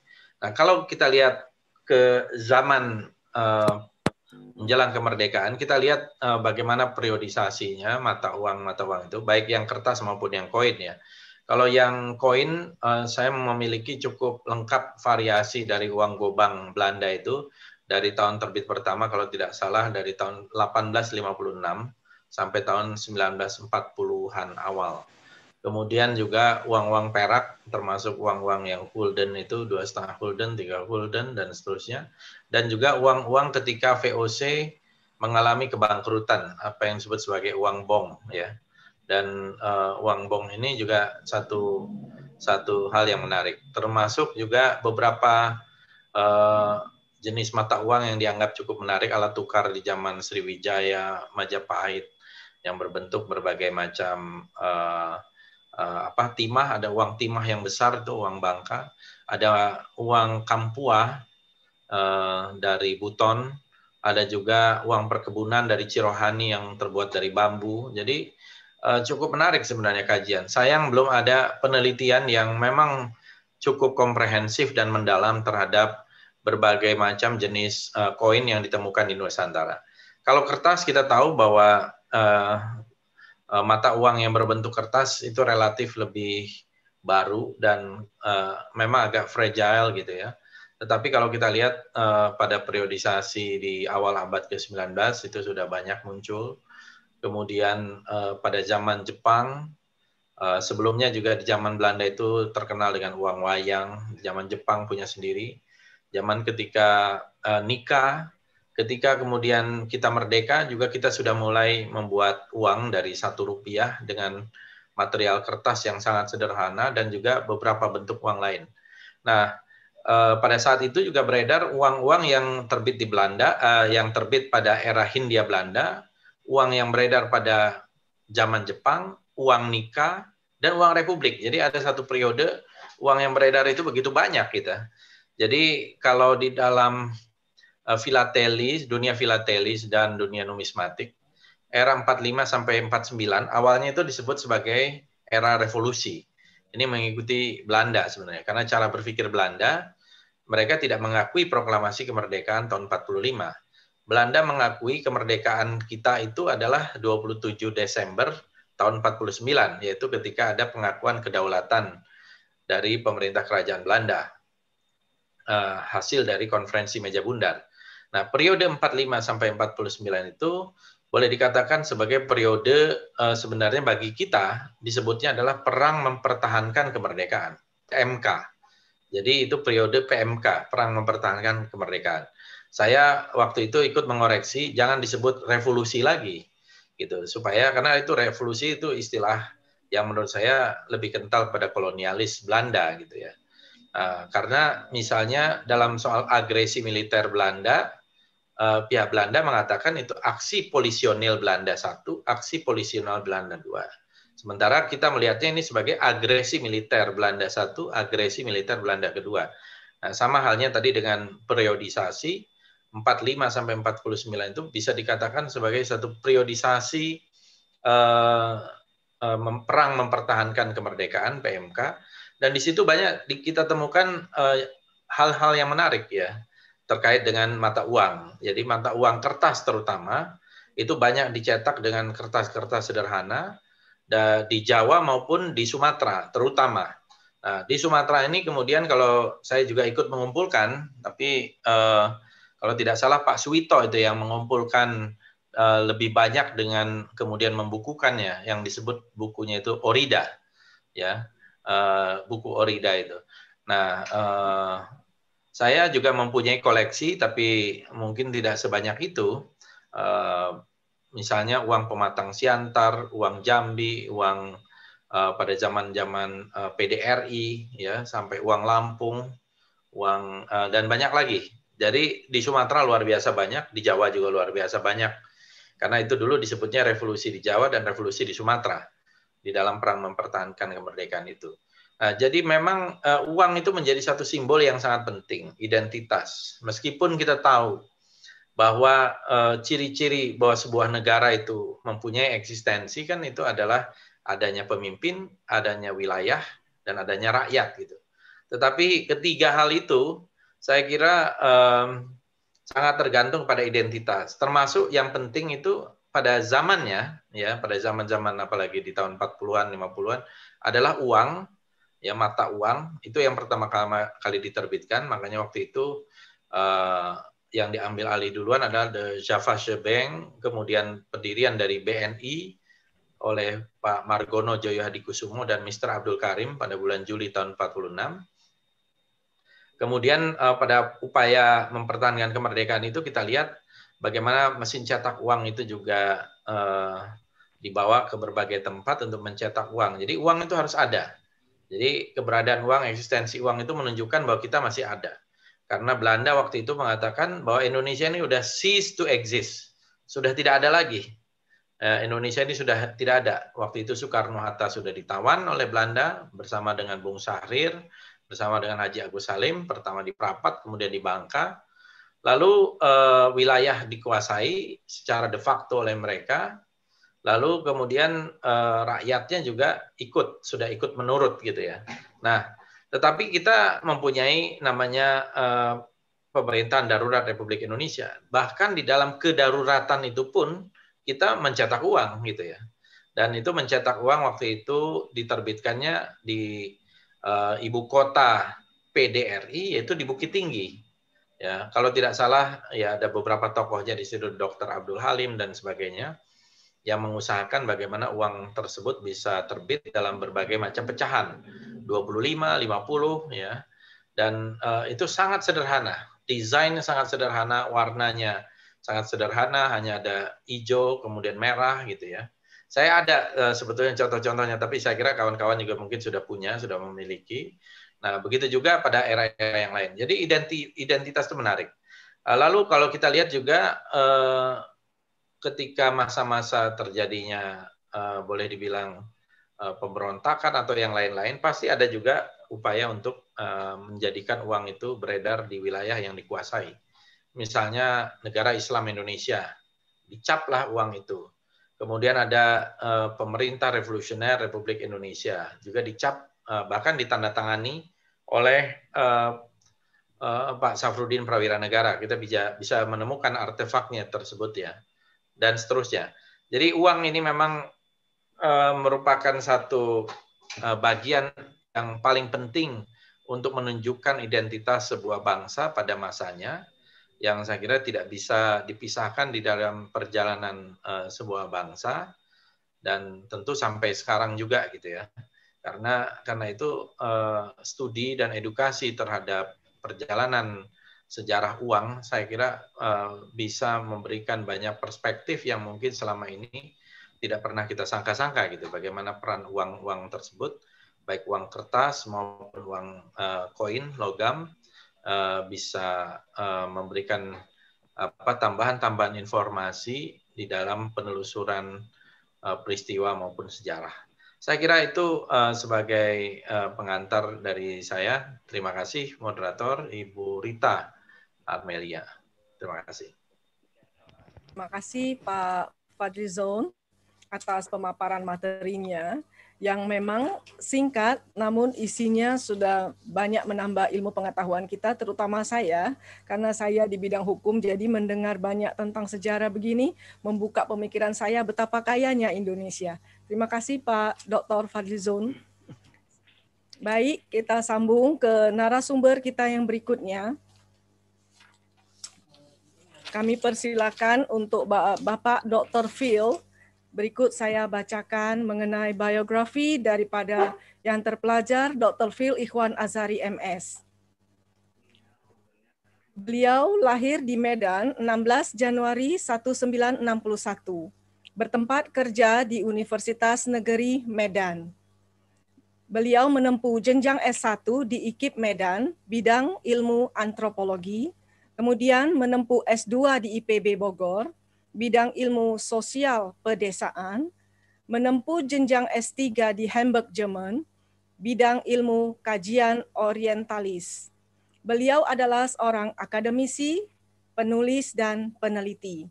Beliau menerima banyak piagam penghargaan, menjadi banyak uh, membuat banyak artikel ilmiah dan jurnal serta merupakan seorang akademisi dan penulis dan peneliti beliau menerima Piagam Tanda Kehormatan Presiden Republik Indonesia Satya Lencana Karya Satya 30 tahun pada tahun 2016.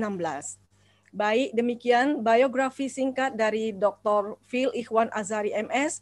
Kami persilakan Bapak untuk pemaparan materinya 15 menit ke depan milik Bapak. Terima kasih.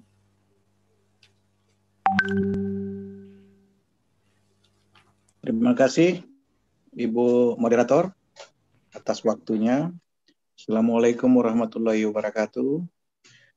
Uh, yang saya hormati Bapak Pimpinan Taman Mini Indonesia dan Pimpinan Museum Uang Sumatera, para narasumber, Pak Padli John tadi, Pak Nurman Kolwis, Pak Masrun, dan saya akan mengambil waktu tidak lama, saya ambil tema berjuang dengan uang masa revolusi di Sumatera Utara. Jadi saya konsentrasi hanya di Sumatera Utara. Uh, kita akan melihat uh, bagaimana kondisi Sumatera Utara pada periode ini. Ya. Next.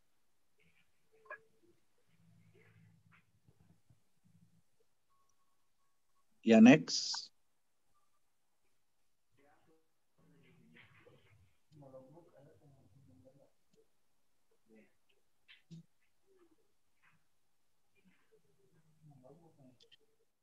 Ya, para hadirin yang saya hormati, di Sumatera Utara terjadi eh, pertempuran moneter, ya, sebuah perang besar yang perang uang, kita namakan perang uang, karena di Sumatera Utara periode 4549 itu bisa keluar sampai 130 jenis uang.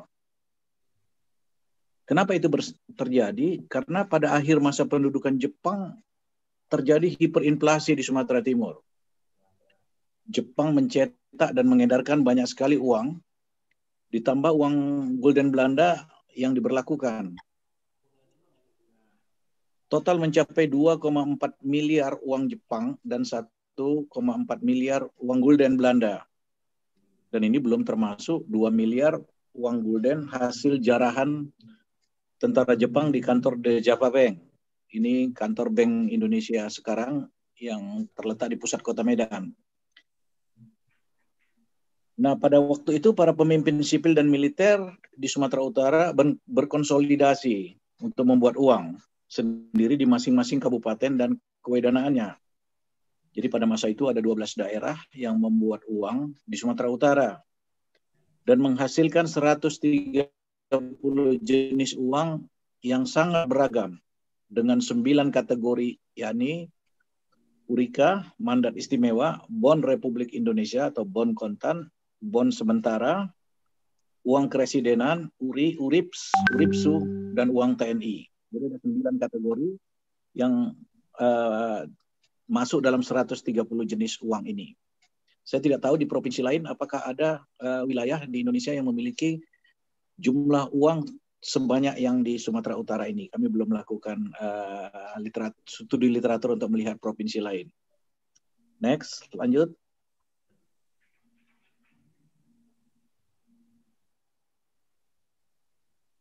Ya, saya kira lanjut saja. Lanjut. Kenapa uang-uang itu bisa beredar, dibuat? Apakah itu uang itu legal atau ilegal? Tapi ternyata uang itu uh, benar-benar legal karena dalam kondisi perang kemerdekaan yang berlangsung dan geografi Indonesia yang bersifat kepulauan pada masa itu, pendistribusian ori atau uang Republik Indonesia menghadapi tantangan berat dan bahkan tidak bisa menjangkau daerah-daerah secara merata. Oleh karena itu pemerintah Indonesia mengeluarkan surat nomor 19 tahun 1947 tertanggal 26 Oktober 1947 memberikan mandat kepada pemerintah daerah untuk mencetak uang Republik Indonesia daerah Orida. Lanjut.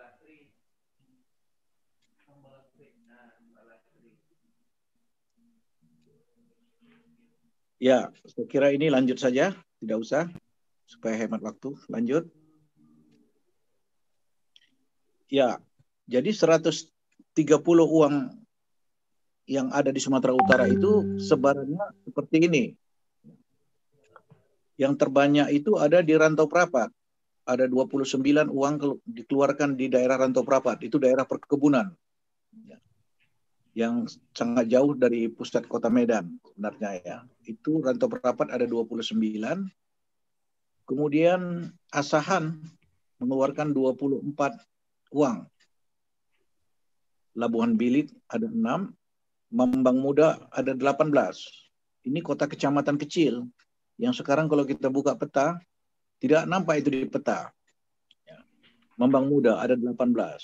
Dan kalau kita lihat lokasinya itu betul-betul di tepi uh, Selat Malaka. Karena nanti berkaitan dengan komoditi ekspor yang dipakai dengan uang ini. Ada kecamatan kecil, kecamatan 50 itu punya tiga uang, pematang siantar ada 16, dan yang menariknya, kota Medan sendiri hanya ada mengeluarkan satu uang. Karena pada periode ini kota Medan diduduki oleh tentara sekutu waktu itu Inggris. Itu salah satu sebab kenapa hanya ada satu uang yang keluar di Medan. Kemudian ada Dolok Batu Nanggar ada tiga. Kemudian tiga Binanga di daerah Karo ada lima. Tapanuli Tengah satu, baru satu, dan Tapanuli ada tiga belas. Kepulauan Nias yang terpencil itu bahkan mengeluarkan sampai empat belas seri uang. Lanjut.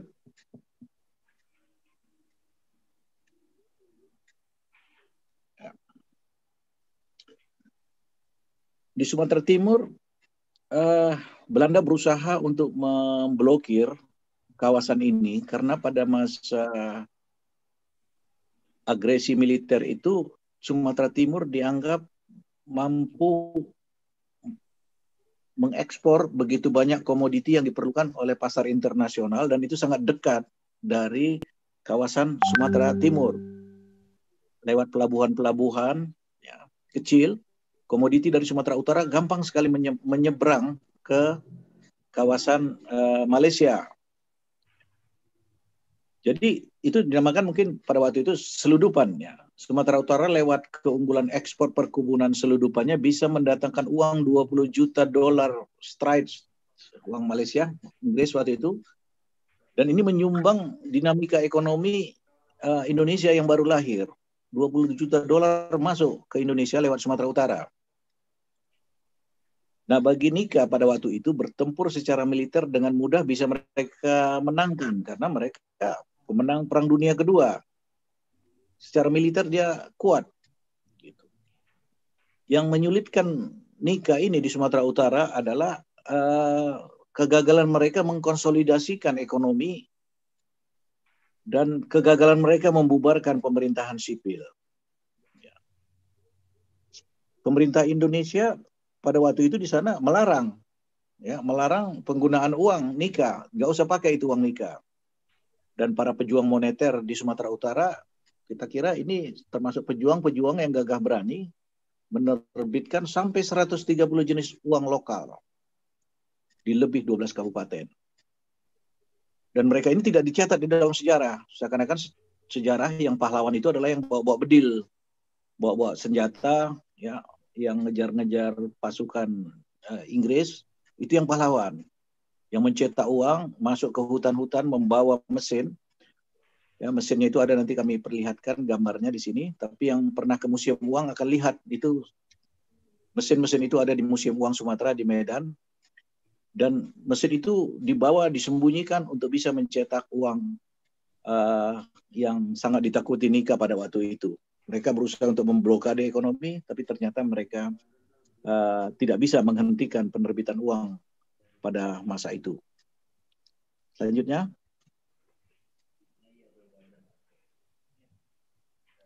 Ya, uang-uang ini sebetulnya sudah pernah diangkat secara nasional ya, pernah ditayangkan di mata Naswa uang-uang uh, dari Sumatera Utara.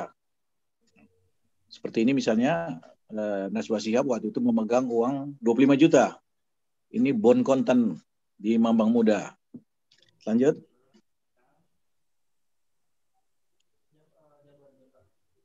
Ya, ini dia uangnya. Seperti ini. Bisa lanjut?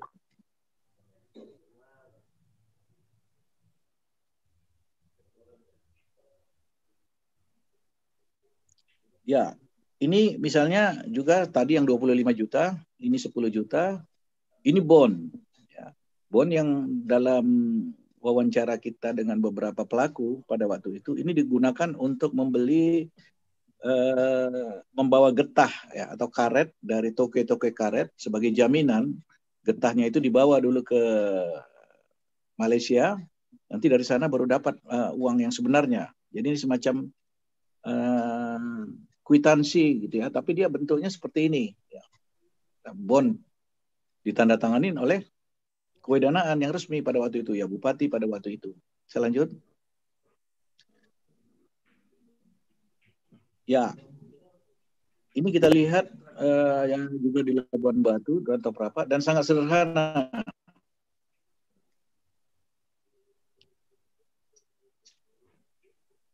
sangat sederhana mesin tik tapi dipakai tanganin oleh uh, bupati atas atas nama bupati. Lanjut.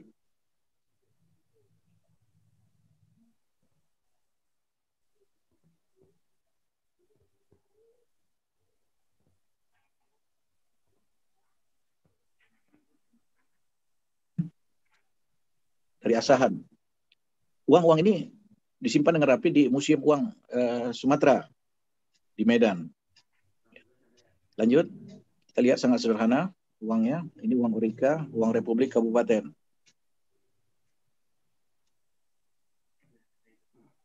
Ya, pernah uang-uang Republik ini dibicarakan dalam sebuah FGD, didiskusikan di Bank Indonesia waktu itu dengan uh, Gubernur BI Pak Agus Marto Wardoyo di tahun 2016 yang juga dihadiri oleh Pak Doro Jatun, Kunjoro Jakdi, untuk melihat bagaimana peran uh, uang uh, Republik pada masa yang krisis itu untuk Sumatera Utara. Bagaimana dengan uang itu ekspor jalan. Jadi ada 20 miliar uang masuk ke Republik Indonesia dengan uang ini tadi. Dan ini belum ditulis di dalam di dalam sejarah peran itu. Baru kemudian BI ada mengeluarkan uh, sebuah buku dan kami ikut di dalam tim pada waktu itu. Buku berjudul uh, Berjuang dengan Uang. Nanti ada kami perlihatkan slide selanjut.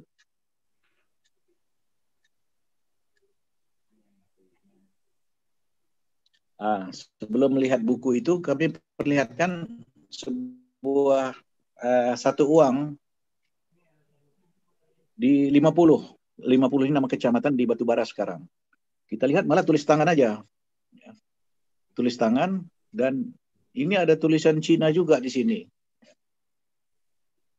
Bon sementara dalam kecamatan 50. Jadi ini di bawah kabupaten lagi, hanya kecamatan pun bisa membuat uang pada waktu itu tulis tangan dikasih ya gambar-gambar ornamen dan ini aslinya juga ada di Museum Uang uh, Sumatera di Medan. Lanjut.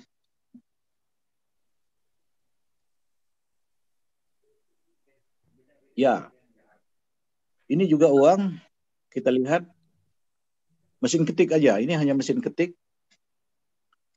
Dan menariknya kami melihat ini bukan di kertas umum atau kertas khusus, tidak. Ini malah buku tulis. Ya. Masih ada garis-garis garis-garis uh, buku buku tulis anak SD itu seperti itu. Seperti itu digunakan dan kemudian dikasih mesin tik, uh, diketik, ya, diketik. Tapi ada nomor di sini, registrasi nomor. 1225 dan ada di sini bendahara, ada bupati.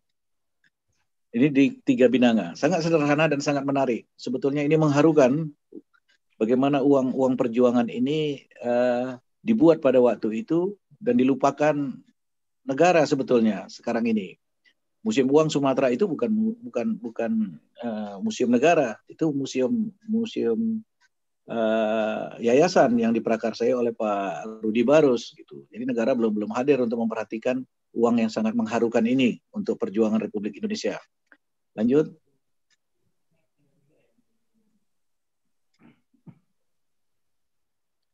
Ya, ini uang Tapanuli. Uh, sayang kami tidak menampilkan sebuah slide yang memperlihatkan kalau orang lain di tempat lain uang itu ditandatangani dua orang atau satu orang ya, biasanya. Tapi untuk di Tapanuli yang kawasan Batak ini, ini sampai 8 orang yang teken. Nah, ini menimbulkan tafsir juga. Kenapa sampai 8 orang yang teken? Berarti kesepakatan ini agak su susah di Tapanuli pada waktu itu. Hanya 8 orang yang menandatangani uh, uang Tapanuli ini. Ini satu-satunya uang yang paling banyak yang menandatanganinya di Sumatera Utara. Lanjut.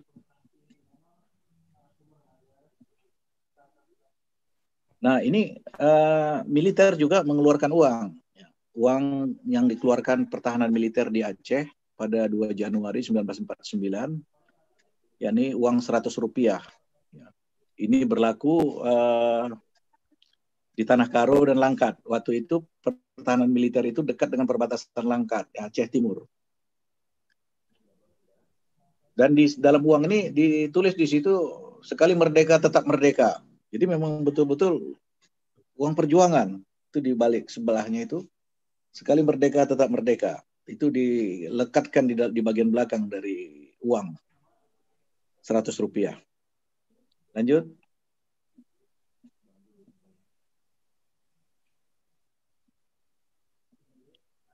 Bahkan ikut dengan 50 tadi, ada uang di Dolok Batu Nanggar. Tulis tangan. Ya, benar-benar tulis tangan. Ini bisa jadi uang. Tapi ada tanda tangan uh, penguasa setempat, penguasa kabupaten berlaku 250 rupiah. Tidak ada mesin tik kemungkinan pada waktu itu, apalagi percetakan. Tapi inisiatif-inisiatif perlawanan seperti ini, ini sangat penting dalam perjalanan uh, bangsa. Dan sayang ini tidak ini dilupakan dan anak sekolah tidak tahu, tidak ada di dalam buku-buku sejarah resmi. Dalam catatan kakinya pun tidak tidak disebut uh, uang-uang perjuangan seperti ini. Lanjut.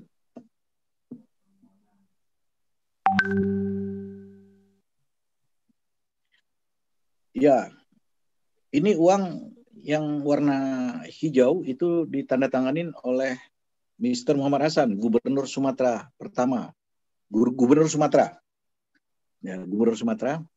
yang sudah menjadi pahlawan nasional. Sedangkan yang bawah itu 250 rupiah itu ditandatanganin oleh Mr.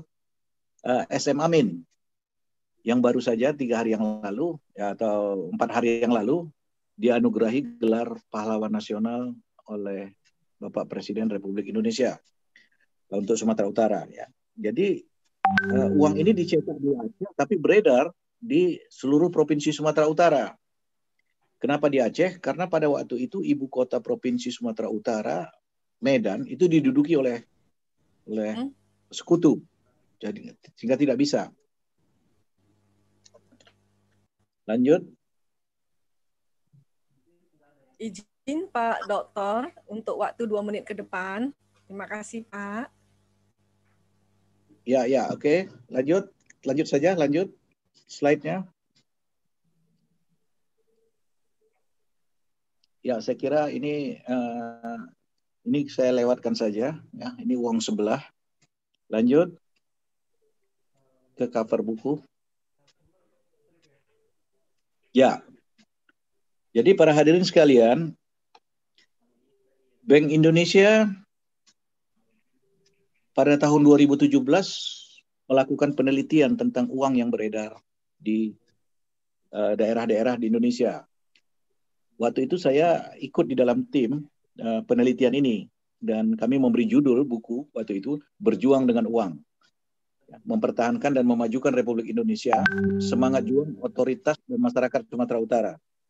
Ya, buku ini diterbitkan oleh Bank Indonesia dan kalau kita lihat cover buku ini itu di bagian atas itu adalah uang uh, yang ditandatangani oleh Mr. SM Amin yang pada hari yang lalu mendapat uh, anugerah pahlawan nasional.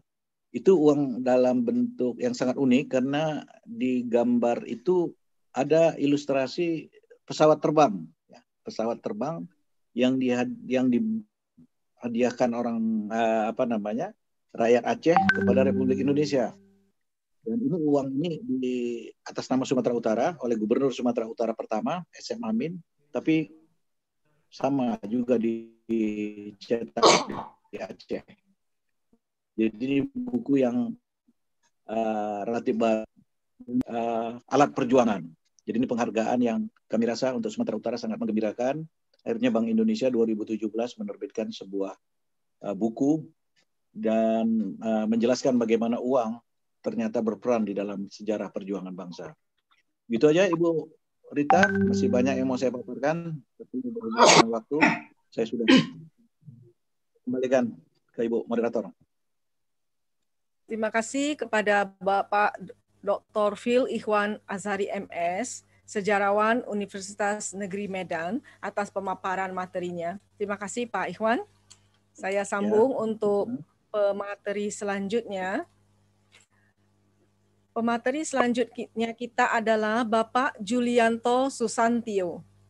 Saya bacakan biografi sedikit dari beliau. Pendidikan lulus dari jurusan arkeologi UI pada 1985. Beliau beralamat di Jakarta. Hobi numismatik dan filateli. Riwayat pekerjaan beliau pernah menjadi jurnalis. Penulis lepas pada sejumlah media cetak sejak 1980-an sampai sekarang tentang sejarah, purbakala, museum, budaya, numismatik, dan astrologi. Memiliki beberapa blog pribadi tentang arkeologi, museum, dan numismatik sejak 2008.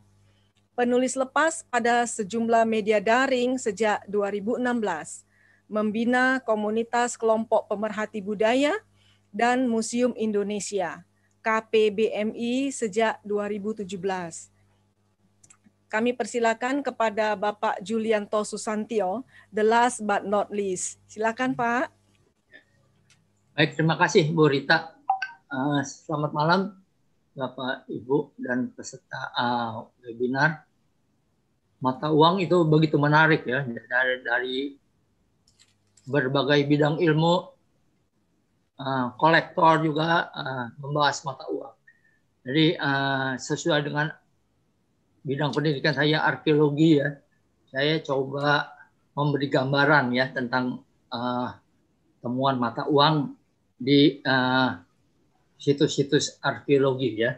Uh, perlu diketahui nih, saya saya memang lulusan arkeologi tapi saya bukan akademisi, bukan intelektual, bukan pakar. Ya. Jadi hanya apa yang saya tahu dan saya baca saja ya. Baik, uh, frame pertama, Mbak.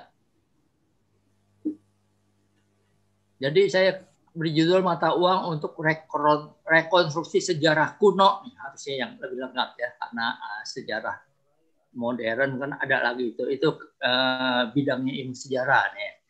Nah, baik uh, kita lihat dulu ini definisi arkeologi ya.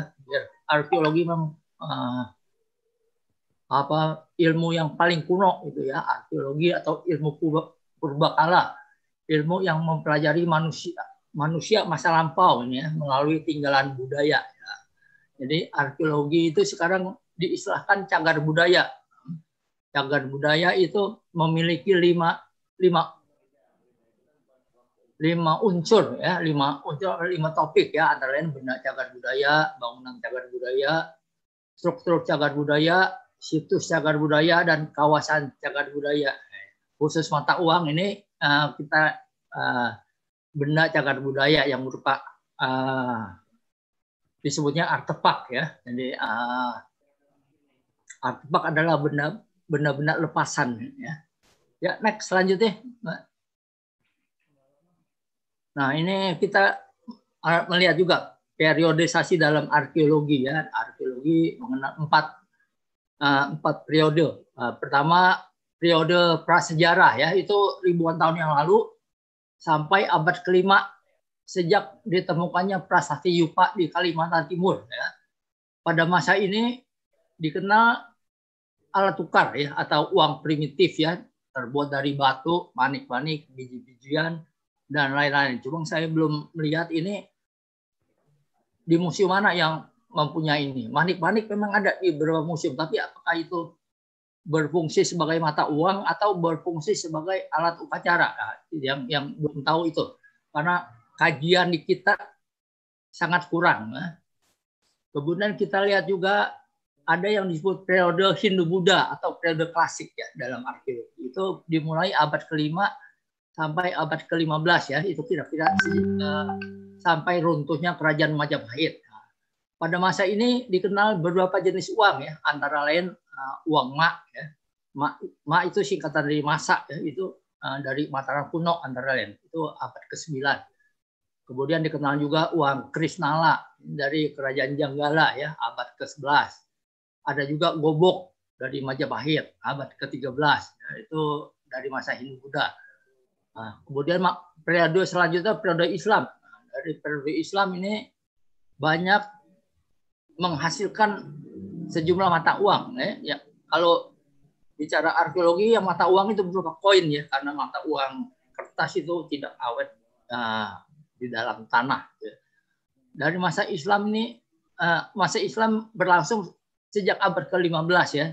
Dalam uh, mata uang logam atau kerajaan yang dikenal dari kerajaan ini antara lain dari Samudra Masai ya.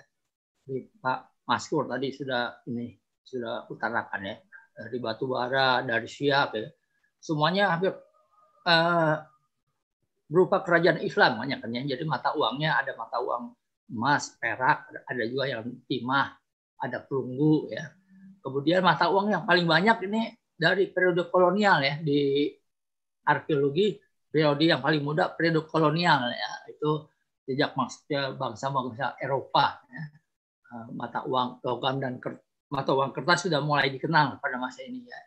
Uang BOC, uang EIC, ya pencil ring gitu ya. Uh, Negelas Indi. Ya. Next, Mbak. Nah, dalam arkeologi ada spesialisasi ya. Uh, karena banyak artefak tentu banyak spesial spesialisasi ya. Yang paling dikenal adalah epigrafi ya epigrafi adalah membaca prasasti ya, mempelajari aksara dan bahasa kuno dalam prasasti. Seperti huruf Jawa kuno dan huruf Arab itu ada ada huruf uh, Mandarin ada juga di makam-makam Tionghoa ya. Ada juga spesialisasi spesialisasi kramologi ya. itu mempelajari keramik utamanya keramik asing ya dari uh, Tiongkok, Vietnam, Thailand. Uh, ada juga numismatik ya itu mempelajari mata uang terutama koin ya. Ini dari bahasa Yunani numisma koin ya. Uh, kemudian ada juga spesial spesialisasi prasejarah, candi, ikonografi, arkeologi industri, pokoknya macam-macam ya dari, dari spesialisasi dalam arkeologi ya. Ya lanjut Pak. Next. Ini arkeologi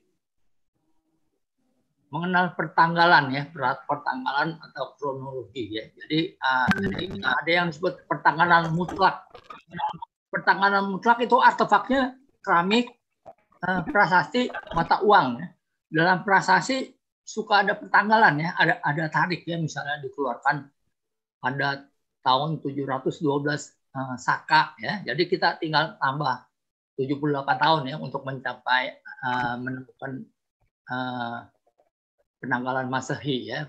Dari keramik juga bisa diketahui pertanggalan tuh dari terutama keramik keramik Tiongkok ya dari zaman uh, Kaisar siapa gitu. Jadi uh, dinasti Song, dinasti Tang, dinasti Qing gitu ya itu bisa diketahui dari keramik. Kemudian mata uang, mata uang eh karena menanggung mengandung tarik eh jadi ada pictorial, ada verbal. Itu dalam arkeologi ini disebut artefak bertanggal mutlak ya. Jadi uh, menjadi data primer untuk penulisan sejarah. Ya. Jadi uh, ini saya kasih contoh dari mata uang Jepang nih dari 1126 sampai 1131 yang gambar sebelah kiri. Gambar sebelah kanan ini mata uang dinasti Tang dari Kaisar Kayuan 713 sampai 741 Masehi ya. Ini mata uang ditemukan di sekitar Jawa Tengah. Ya. Ini ini saya saya lupa sebutkan sumbernya. Ini sumbernya dari berkala arkeologi tahun 94. mata uang itu untuk memberi pertanggalan ya. Dan ada juga yang disebut pertanggalan relatif ya, misalnya Artinya paling disebutnya uh, gaya Sriwijaya atau gaya Majapahit, gaya Mataram. Jadi tahun tahun yang yang pastinya uh, belum belum dipastikan ya. Uh, lain halnya dengan ketiga artefak tadi, prasasti, keramik, mata uang. Nah, ini makanya disebut pertanggalan relatif ya. Candi juga, candi gaya tengah, gaya Jawa Tengah, utara, gaya Jawa Tengah Selatan, gaya Jawa Timur. Nah, cuma disebut begitu. Uh, masanya ini yang yang yang belum diketahui pasti ya. Nah, kemudian manfaat mata uang ya. Jadi mata uang itu untuk melakukan pertanggalan silang ya. Kalau misalnya ditemukan mata uang dalam kotak galian ya, dalam, dalam kotak ekskavasi, kemudian ditemukan juga barang-barang lain ya, seperti logam berukir yang yang sulit diketahui masanya ya. Jadi dengan adanya temuan mata uang itu Eh, logam berukir ini bisa di, diketahui paling tidak sejaman dengan uh, temuan mata uang ya. Ya, lanjut, Mbak. Next. ini saya agak cepat aja, Mbak. Nah, ini yang disebut ekskavasi ya. Ekskavasi adalah penggalian arkeologi ya. Jadi mata uang ditemukan pada banyak situs arkeologi seperti di Trowulan dan Banten. Ya, ada mata uang Cina, mata uang VOC ada sini. Nah, jadi mata uang yang ditemukan uh, memiliki berbagai bentuk, bahan, ukuran, persebaran. Ya. Nah, ini keuntungan mata uang. Keuntungan mata uang atau numismatik adalah terdapat data tekstual dan data piktorial ya. Misalnya nama pengusaha, gelar, uh, simbol, asal, tahun, nilainya berapa ya jadi itu untuk uh, penyusunan kronologi sejarah ya itu paling bermanfaat itu mata uang tapi mata uang yang lebih bermanfaat yang temuan hasil ekskavasi ya dari kota penggalian karena ada konteks sejarahnya. Jadi kalau ada temuan lepas misalnya temuan Sungai Musi, temuan Sungai Berantas, temuan Sungai Matahari, mungkin kita tahu bahwa itu sebuah kapal pernah tenggelam. Nah, tapi konteksnya ini yang yang yang suka di uh, suka diketahui ya daripada mata uang yang ditemukan dalam uh, kotak penggalian. Dan sayangnya sebagian besar temuan mata uang berada dalam kondisi rusak atau haus.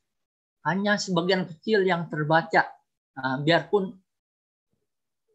uh, cuma sedikit yang terbaca, tapi itu manfaatnya sangat besar sekali. Ya. Seperti yang saya uh, gambar temuan tadi dari Kaisar Kayuan dan dari Jepang itu dari ratusan cuma beberapa yang yang yang bisa terbaca. Kemudian uh, dari mata uang ini juga bisa ditafsirkan hal-hal lain ya.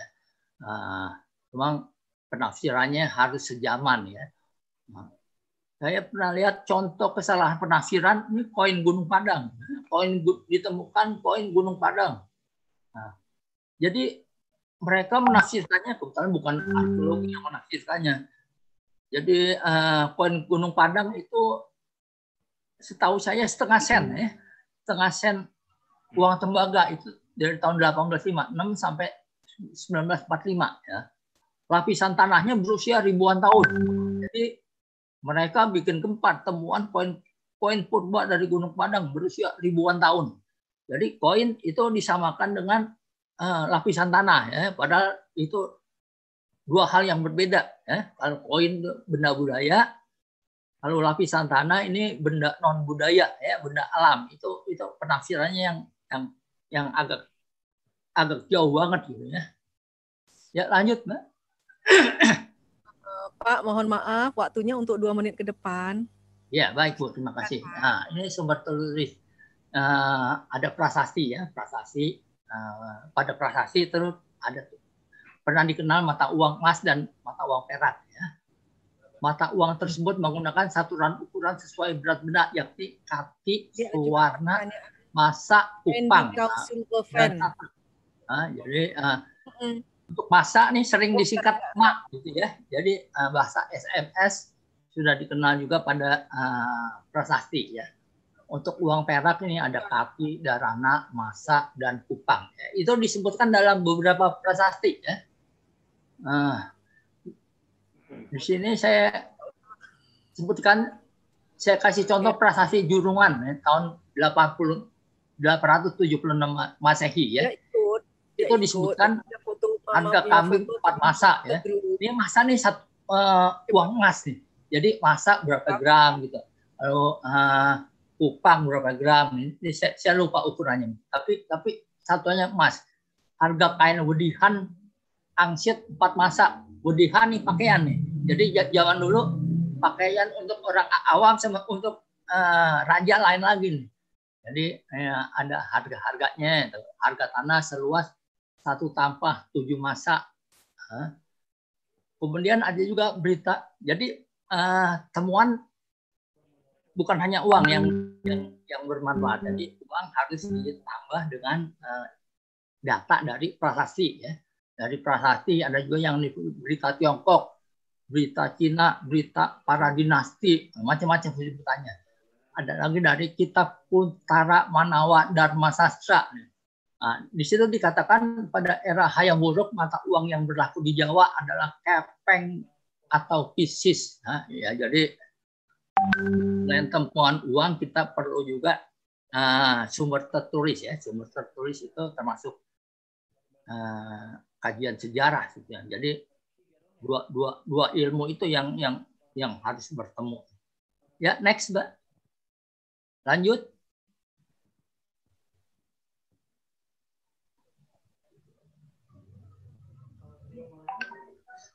nah, jadi mata uang itu bermanfaat untuk rekonstruksi sejarah ya.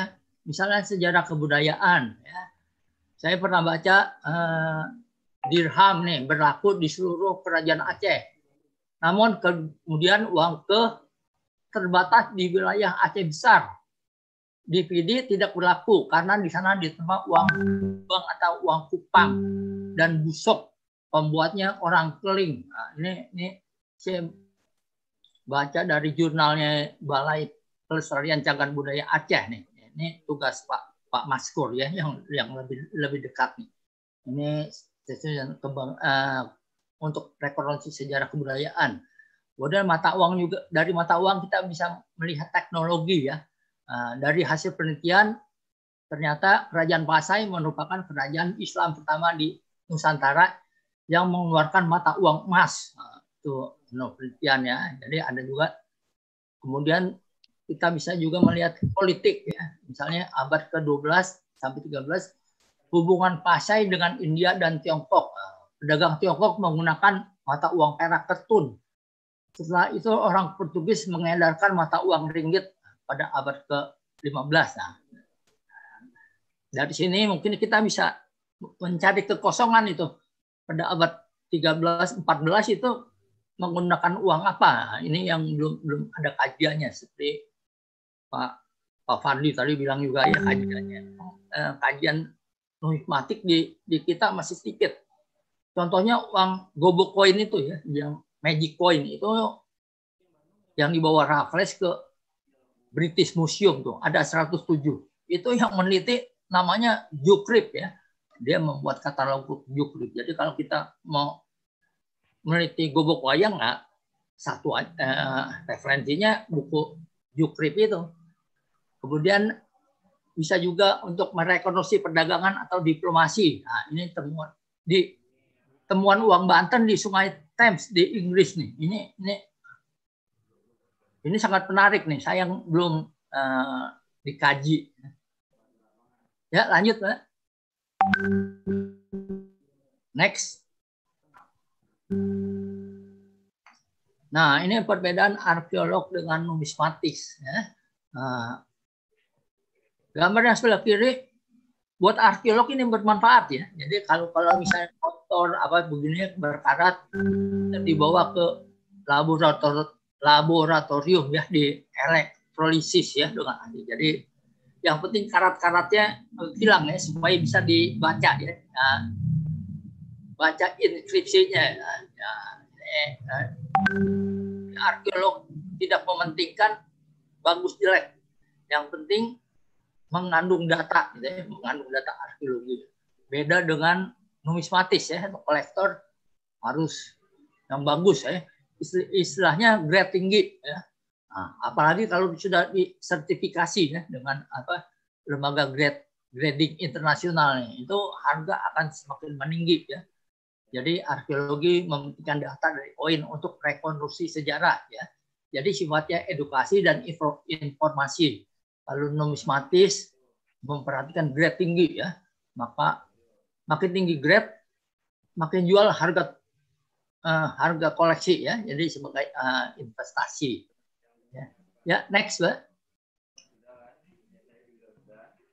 Nah, ini ada jenis dan bahan uang ya. Ini ada ada uh, uang kampua yang di, ditenun oleh putra putri beton eh, dari Buton ya ada uang logam, ada uang ikan, uang petik, uang kertas, uang perkebunan, ada token dari bambu seperti Pak Fadijon. Jadi, jadi Nusantara kita amat beragam dengan uh, berbagai jenis uang. Ya, ya lanjut.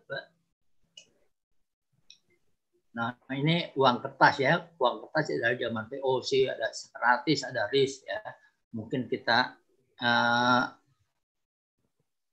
sampai di sini saja ya. Jadi yang next, Mbak, uang kertas sudah banyak dibahas ya. Jadi pada, pada uang kertas itu ada gambar tokoh ya, tokoh pahlawan gitu ya. Pahlawan tentu berarti perjuangan ya. Jadi ada flora, pariwisata dan sebagainya. Ya. Next, Mbak. Nah demikianlah eh, bapak-bapak, ibu-ibu uh, pemaparan saya dari segi arkeologi ya mudah-mudahan bisa memberi gambaran tentang uh, numismatik ya, numismatik sebagai data untuk rekonstruksi sejarahnya. Ya, begitu Ibu Dita. Terima kasih banyak. Terima kasih Pak Julianto Susantio atas pemaparan materinya sangat bermanfaat Pak. Kami menyimak sampai penghabisan. Terima kasih Pak. Baiklah sekarang telah kita dengarkan pemaparan materi dari narasumber yang pertama sampai narasumber yang kelima. Sekarang kita memasuki sesi tanya jawab. Saya akan menampilkan pertanyaannya di layar oleh admin saya. Sebentar ya Pak Ibu.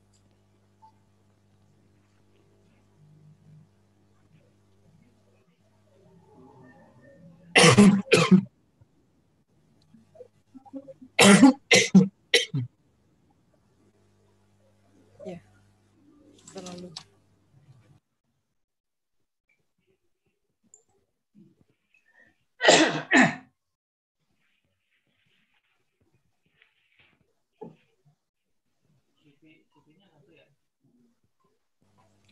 Saya bacakan pertanyaannya dari Bapak Hafid Rofi Pradana, Tulung Anggung, Jawa Timur, Nurman.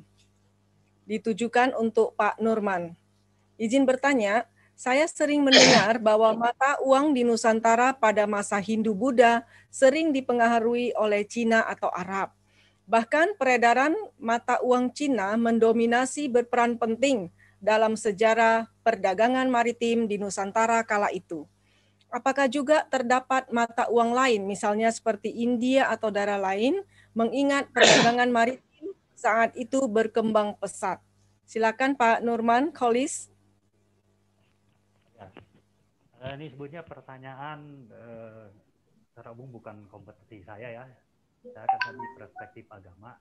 Cuma sekilas yang eh, pernah saya tahu, eh, yang pertama eh, terkait eh, Cina dulu ya, kita menyebut istilah uang saja itu kan dari kata uang, uh, dari yang mengartikan itu kan uh, raja. Jadi saya pernah baca di sebuah kamus. Jadi dulu yang disebut uang itu adalah uh, uang emas yang ada gambar raja gitu. Seperti istilah money kan dari moneta itu ya, itu raja juga gitu. Itu terkait Cina. Kemudian juga uh, masalah India ya, uh, ini lagi-lagi sebatas. Dan saya tahu uh, misalnya kita menggunakan kata rupiah saja ah ini nyambung ya dengan dengan ada pertanyaan lain ya terkait rupiah. Uh, itu bisa jadi melalui India. Karena rupiah nama nama uang Indonesia sekarang kalau di India kan rupiah gitu dan dulu itu yang disebut rupiah itu adalah uh, uang perak gitu Cuma tidak tahu apakah memang uh, rupiah itu langsung ke Indonesia atau kalau tidak salah rupiah juga sebetulnya nah, sudah ada dari Mongolia ya ke India kemudian ke Indonesia. Jadi rupiah itu sebagaimana rupiah ya pada umumnya apa uang perak. Karena itu kita sekarang secara lisan walaupun uang rupiah itu sudah terbuat dari apa dari kertas tetapi masih banyak yang menyebut 5000 perak atau ribu perak nih barangkali nanti Pak Jurianto bisa meluruskan gitu ya. Eh, istilah ada sekarang kata eh, rupiah saja bisa jadi itu pengaruh dari dari India. Ya, apalagi ini terkait maritim uh, itu bukan kompetisi saya. Uh, nanti ini yang perlu dikembangkan dengan jalur apa rempah juga gitu ya. Uh, itu uh, kira itu.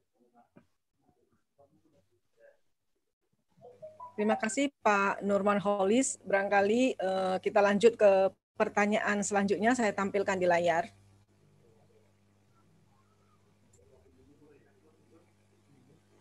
Pertanyaan dari Ibu Intan Permatasari, Tulung Agung, Jawa Timur, ditujukan kepada Bapak Masyikur.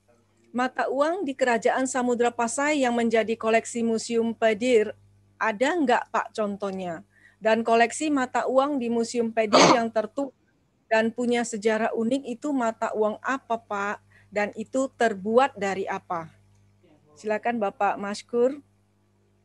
Baik, eh, terima kasih untuk pertanyaannya dari Ibu Intan Permatasari dari Tulung Agung.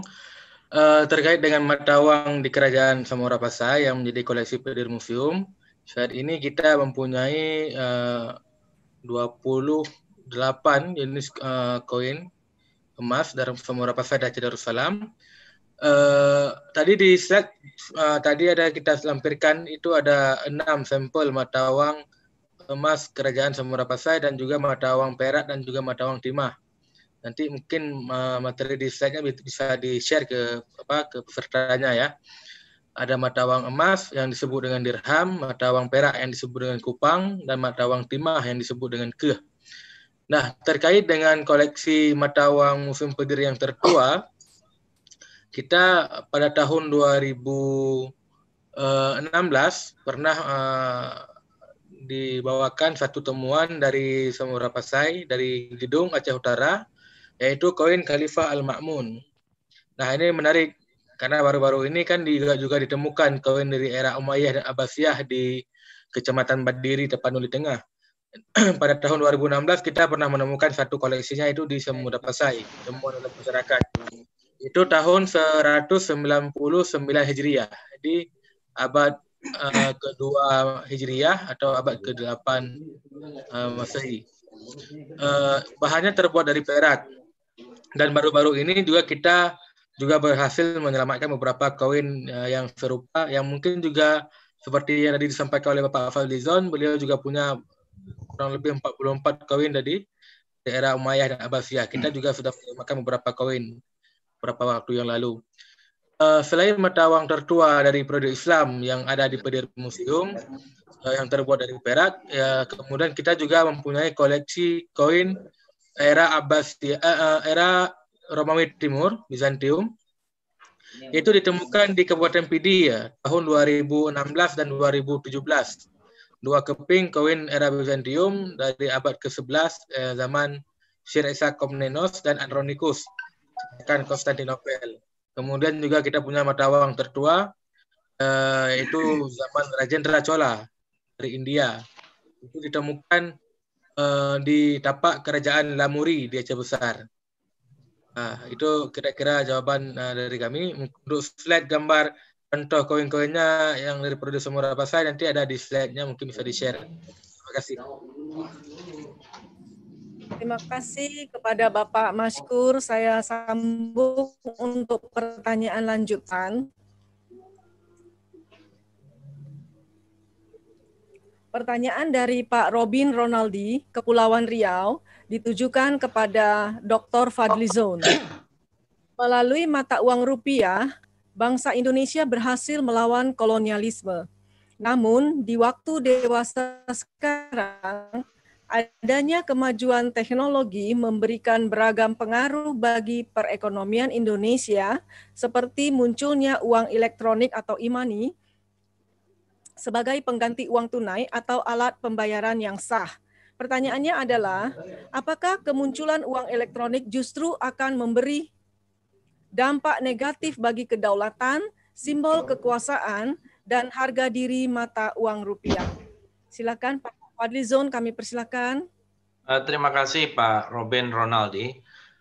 Memang kemajuan teknologi itu adalah sebuah sesuatu yang niscaya ya dan uh, saya kira memang belakangan ini ada satu lompatan yang besar terutama pada beberapa dekade terakhir 20 hingga kini gitu ya terjadi lompatan atau satu quantum leap di dalam kemajuan uh, teknologi informatika sehingga kemudian kita saya kira mungkin banyak di sini yang generasinya sama dengan saya atau mungkin lebih senior malah atau lebih muda tapi merasakan bagaimana belum ada internet, belum ada wifi, belum ada uh, teknologi dan sebagainya. Tetapi uh, saya melihat bahwa uh, uang dalam bentuk sesuatu yang material itu tetap akan menjadi uh, sesuatu yang penting gitu ya. Eh, transfer melalui uh, digital ya bahkan ada bitcoin ada electronic money atau tadi yang dikatakan di sini menurut saya uh, mungkin ini adalah suatu hal yang semakin memudahkan orang melakukan satu transaksi tetapi tidak akan uh, menurut saya mempunyai dampak ya kepada uh, kedaulatan atau harga harga diri dari mata uang rupiah kenapa karena kita masih memproduksi mata uang rupiah itu, baik yang koin maupun yang kertas. Jadi setiap tahun kita masih memproduksi itu. Dan bahkan belakangan eh, dicetak yang 75 ribu ya, yang semacam untuk uh, collectible items. Walaupun jumlahnya cukup banyak juga collectible items, tapi jumlahnya kalau tidak salah mencapai 75 juta. Jadi uh, tetapi itu sesuatu yang menarik ya, sama seperti perangko sebenarnya.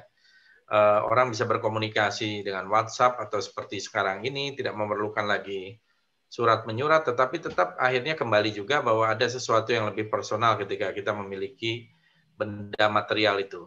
Karena ini bagian dari sebuah material culture gitu ya, yang uh, bahkan menjadi collectible. Uh, kalau kita lihat di dalam uh, misalnya lelang-lelang mata uang itu, ini bahkan menjadi alat investasi gitu ya.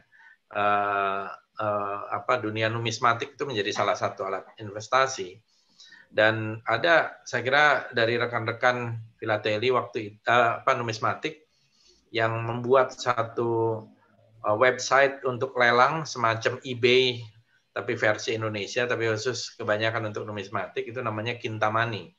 Nah, Pak Wisnu waktu itu. Jadi uh, pertukaran di situ juga cukup banyak. Jadi saya melihat bagaimanapun kita masih mencetak uang dan uh, uang elektronik ini memang sesuatu yang tidak bisa kita hindarkan. Bahkan sekarang transfer uang bisa melalui WhatsApp kok, bisa melalui Telegram, bisa melalui platform media sosial tanpa harus melewati bank gitu ya. Jadi ini sesuatu yang menurut saya satu hal yang niscaya. Namun uh, di sini menurut saya nanti uh, uh, perlu ada semacam semacam kajian yang mendalam bagaimana posisi rupiah sebagai identitas uh, apa keuangan kita dan juga perwakilan dari negara Republik Indonesia. Terima kasih. Terima kasih Pak Fadlizon atas uh, jawaban untuk Pak Robin Ronaldi. Kebetulan Pak Fadlizon, moderator ingin bertanya untuk Pak Fadlizon, boleh ya? Kan? Pak uh, Pak Fadlizon, uh, untuk buku The Dreams That I Keep, itu bisa diperoleh di mana Pak Fadlizon? Oh, boleh nanti saya di uh, eh, WA aja ke saya nanti bisa saya kirimkan. Ya. Baik, terima kasih Pak Palizon. Saya lanjut untuk pertanyaan selanjutnya. Pertanyaan dari Pak Frans Rian dari Medan untuk Bapak Ikhwan Azari. Bagaimana peran kaum Melayu dan Tionghoa dalam penyebaran dan perang mata uang di wilayah Sumatera Utara? Silakan Pak Dr. Ikhwan Azari. Ya, terima kasih. Ini pertanyaan dari Pak Pransrian. Ya. Kalau tergantung periodenya. Kalau periodenya itu periode abad ke-18 untuk orang Melayu itu uh, orang Melayu terutama di kerajaan-kerajaan di kawasan Sumatera Utara itu cukup berperan penting di dalam penerbitan uang. Jadi misalnya abad 18 ya, 18 19 uh, Delhi juga mengeluarkan uang ya. Tapi Delhi sebelum sebelum masuknya perkebunan tembakau. Jadi perkebunan tembakau ini kan masuk ke Delhi perkebunan asing tembakau sekitar 1863. Setelah itu uh, ekonomi Sultanan Delhi sangat tergantung kepada ekonomi perkebunan asing. Tapi sebelum itu, Sultan Delhi sebelum itu adalah peniaga-peniaga yang hebat yang mengekspor hasil-hasil uh, komoditi seperti lada itu ke ke Penang. Dan Sultan Delhi pada masa itu mengeluarkan koin, ya, koin uang khusus Kesultanan Delhi. Itu ada di Museum Uang uh, Sumatera Kemudian ada orang Melayu yang uh, orang Melayu yang lain itu Kesultanan Batubara. Baru-baru ini koin-koin dari Batubara ditemukan dalam jumlah sangat banyak, ya, sampai seribu lebih ya koin-koin Batubara itu sebuah kabupaten uh, di Sumatera Utara juga dan itu Kesultanan Melayu. Jadi itu peran peran peran mereka dan uang Batubara ini juga sudah uh, mulai menyebar di berbagai tempat, ada di Museum Uang, ada di Museum Al-Qur'an, Bahkan Pak Padlijon pun udah dapat itu kemarin waktu ke Medan ya kami diberikan oleh Museum Uang sebagai hadiah karena itu belum ada di museum-museum lain karena baru ditemukan. Itu sekitar abad 18. Sedangkan kalau Tionghoa ini harus mundur di Sumatera Utara dia mundur ke abad-abad 12 sampai abad ke-16. Itu banyak sekali. Banyak sekali ditemukan uang uang Tionghoa yang ya uang, uang Cina di situs misalnya di situs Museum Kota Cina. Di Museum Situs Kota Cina itu banyak sekali disimpan uang yang ditemukan di kawasan Medan Utara.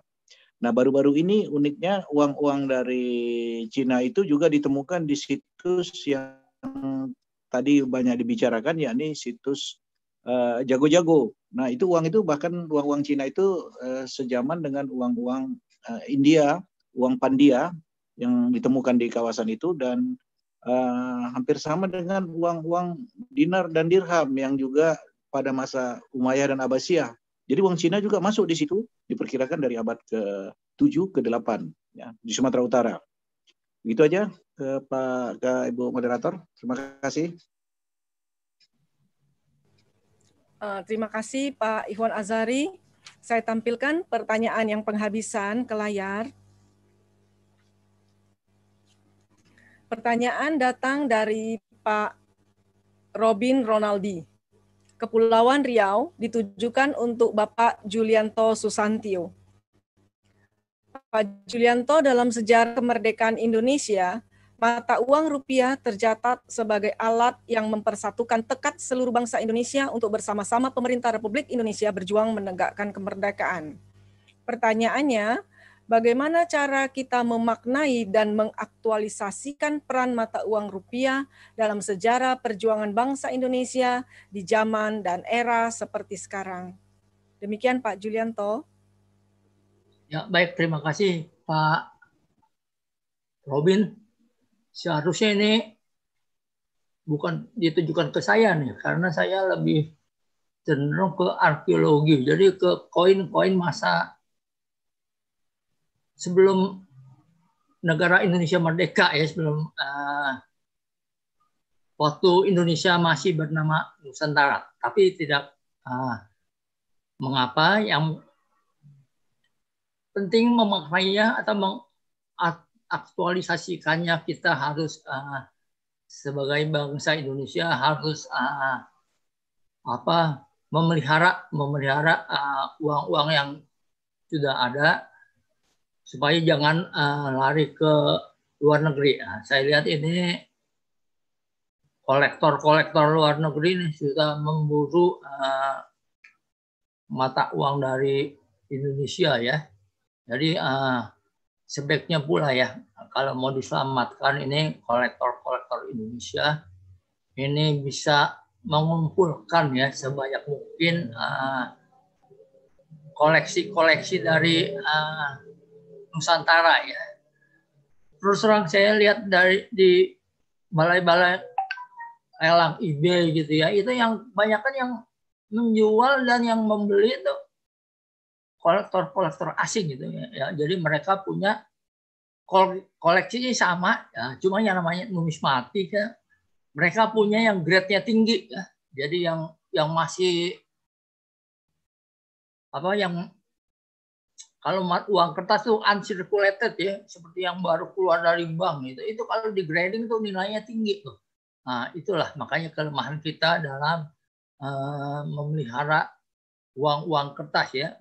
Dapat tawaran tinggi, dijual seperti ori, ori dan orida tuh setahu saya kolektor terbanyak dari Denmark ya. Jadi entah bagaimana mereka uh, bisa memiliki uh, ori sebanyak itu ya.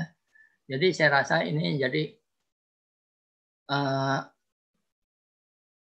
kolektor Indonesia sendiri atau bangsa Indonesia sendiri yang harus menyelamatkan uang-uang uh, yang pernah beredar di uh, Nusantara.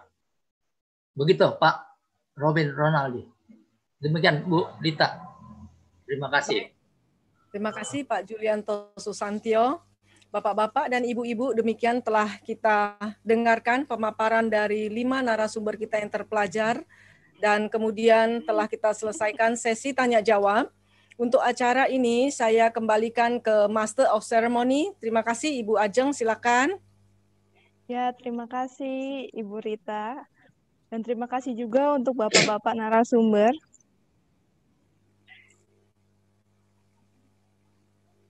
Sebelum penutupan, terlebih dahulu akan ada sesi foto dan pembagian seminar kit bagi 10 orang penanya terbaik jadi diharapkan untuk peserta untuk tidak meninggalkan acara terlebih dahulu. Dimohon untuk para peserta untuk menghidupkan videonya agar panitia dapat mengambil gambarnya.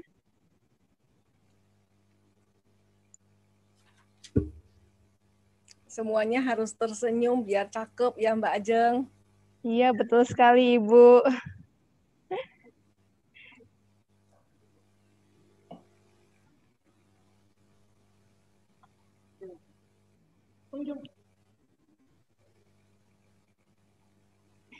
Ya, baik. Saya hitung mundur ya, Bapak Ibu. Tiga, dua, satu, senyum.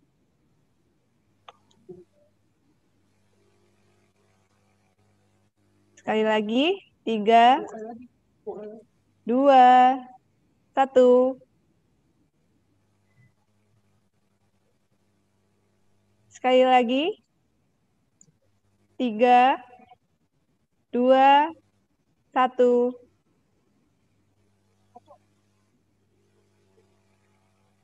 Sekali lagi, Bapak Ibu mohon untuk mengangkat tangannya. Museum di hatiku. Mohon diaktifkan Bapak Ibu videonya. Senyumnya Bapak Ibu, angkat tangannya. Museum di hatiku. Museum di hatiku.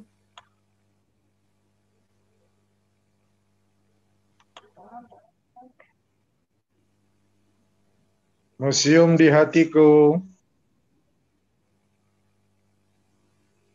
Oke, sudah Bapak Ibu, terima kasih. Ya. Selanjutnya akan saya umumkan 10 peserta penanya terbaik yang masih setia mendengarkan materi hingga akhir acara. Saya sebutkan satu persatu. Atas nama Yose Rizal Triarto dari Yogyakarta. Yang kedua, Intan Permata Sari dari Tulung Agung, Jawa Timur. Yang ketiga, Abdullah dari Langsa. Yang keempat, Robin Ronaldi dari Kepulauan Riau. Yang kelima, M. Ridwan Firdaus Bekasi. Yang keenam, Muhammad Dia Arafah dari Maros. Yang ketujuh, Siti Rohani dari Tangerang. Yang ke-8 ada Franz dari Medan. Yang ke-9 ada Rose dari Jakarta. Yang ke-10 ada Hafid Rofi Pradana dari Tulung Agung. Selamat untuk penanya terbaik. Kami panitia akan menghubungi 10 penanya terbaik tersebut untuk menerima alamat detail dari masing-masing penanya terbaik. Yo, yo buku, yo peng. Peng. Yo koin. Baik. Demikianlah serangkaian acara webinar pada malam hari ini. Saya Ajeng sebagai pembawa acara mewakili tim pelaksana webinar mengucapkan terima kasih atas segala perhatian dan mohon mohon maaf atas segala kekurangannya. Akhir salam, wassalamualaikum warahmatullahi wabarakatuh. Salam museum. Waalaikumsalam warahmatullahi wabarakatuh. Museum Waalaikumsalam warahmatullahi wabarakatuh. Terima kasih. kasih Bapak Ibu. Sampai jumpa lagi. Keren semua. Terima kasih. Fadlizon. Selamat malam. Museum di hatiku. Silakan Bapak Ibu untuk saling salam. Terima kasih. Bye. Ya, makasih, makasih. Terima kasih. Terima kasih kasih juga. Salam budaya. Sukses selalu. Salam budaya. Sehat selalu. Terima kasih Bapak-bapak, Bapak, Ibu-ibu. Museum di Ya, hatiku. sama-sama Bu. Salam sehat. Boleh bagi Salam slide-nya nanti sehat Pak. Saparudin. Pak Saparudin, terima kasih. Ya. Boleh bagi slide-nya nanti ya Bapak Ibu. Ya, Terima kasih. Iya, Bapak. Akan kami bagi slide-nya melalui email ya, Bapak, Ibu. Oke. Ya, terima kasih. Ya, Terima kasih semuanya. Terima kasih semuanya. Ya, terima kasih Selamat semuanya. malam, Bapak, Ibu. Selamat beristirahat. Baik. Kalau bisa diadain lagi, Bu. Iya Ya, betul, Bapak. diadain lagi. Ditunggu Ya. webinar selanjutnya. Ya. Ya, Tapi kalau bisa yang akan datang materinya jangan terlalu banyak biar tuntas gitu. Maksud saya Ya biar- betul. Ah, kalau ya tadi kan betul, Bapak. dipotong-potong karena waktu dan juga terlalu banyak yang memberikan materi. Mungkin cukup tiga tapi tuntas gitu dari awal sampai akhir gitu. Ini kan pengetahuan begini jarang-jarang kita punya. Eh kita punya, kita tahu gitu ya. Iya, Ya, betul. baik, Bapak, Ibu. Ah, ya, Ya, terima kasih, Bapak, atas masukannya, Pak. baik, baik, ya, Terima Ya, kasih. sukses.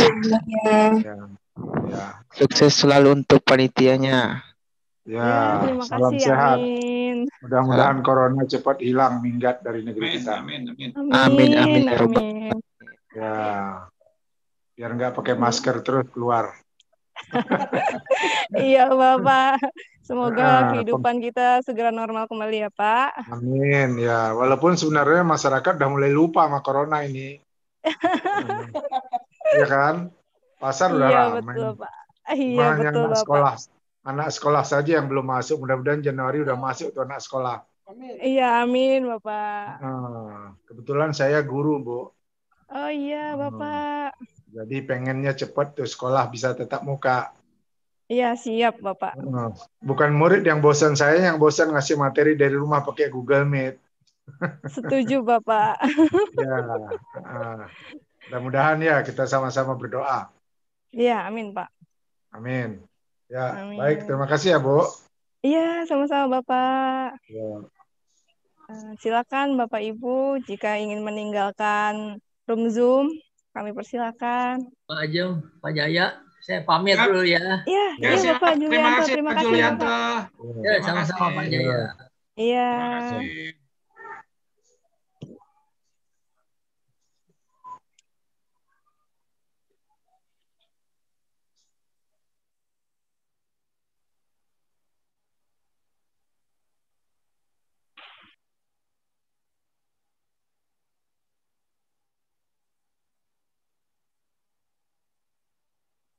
Mbak Ajeng, Mbak Ajeng. Iya, Ibu. Apa mau masih digunakan atau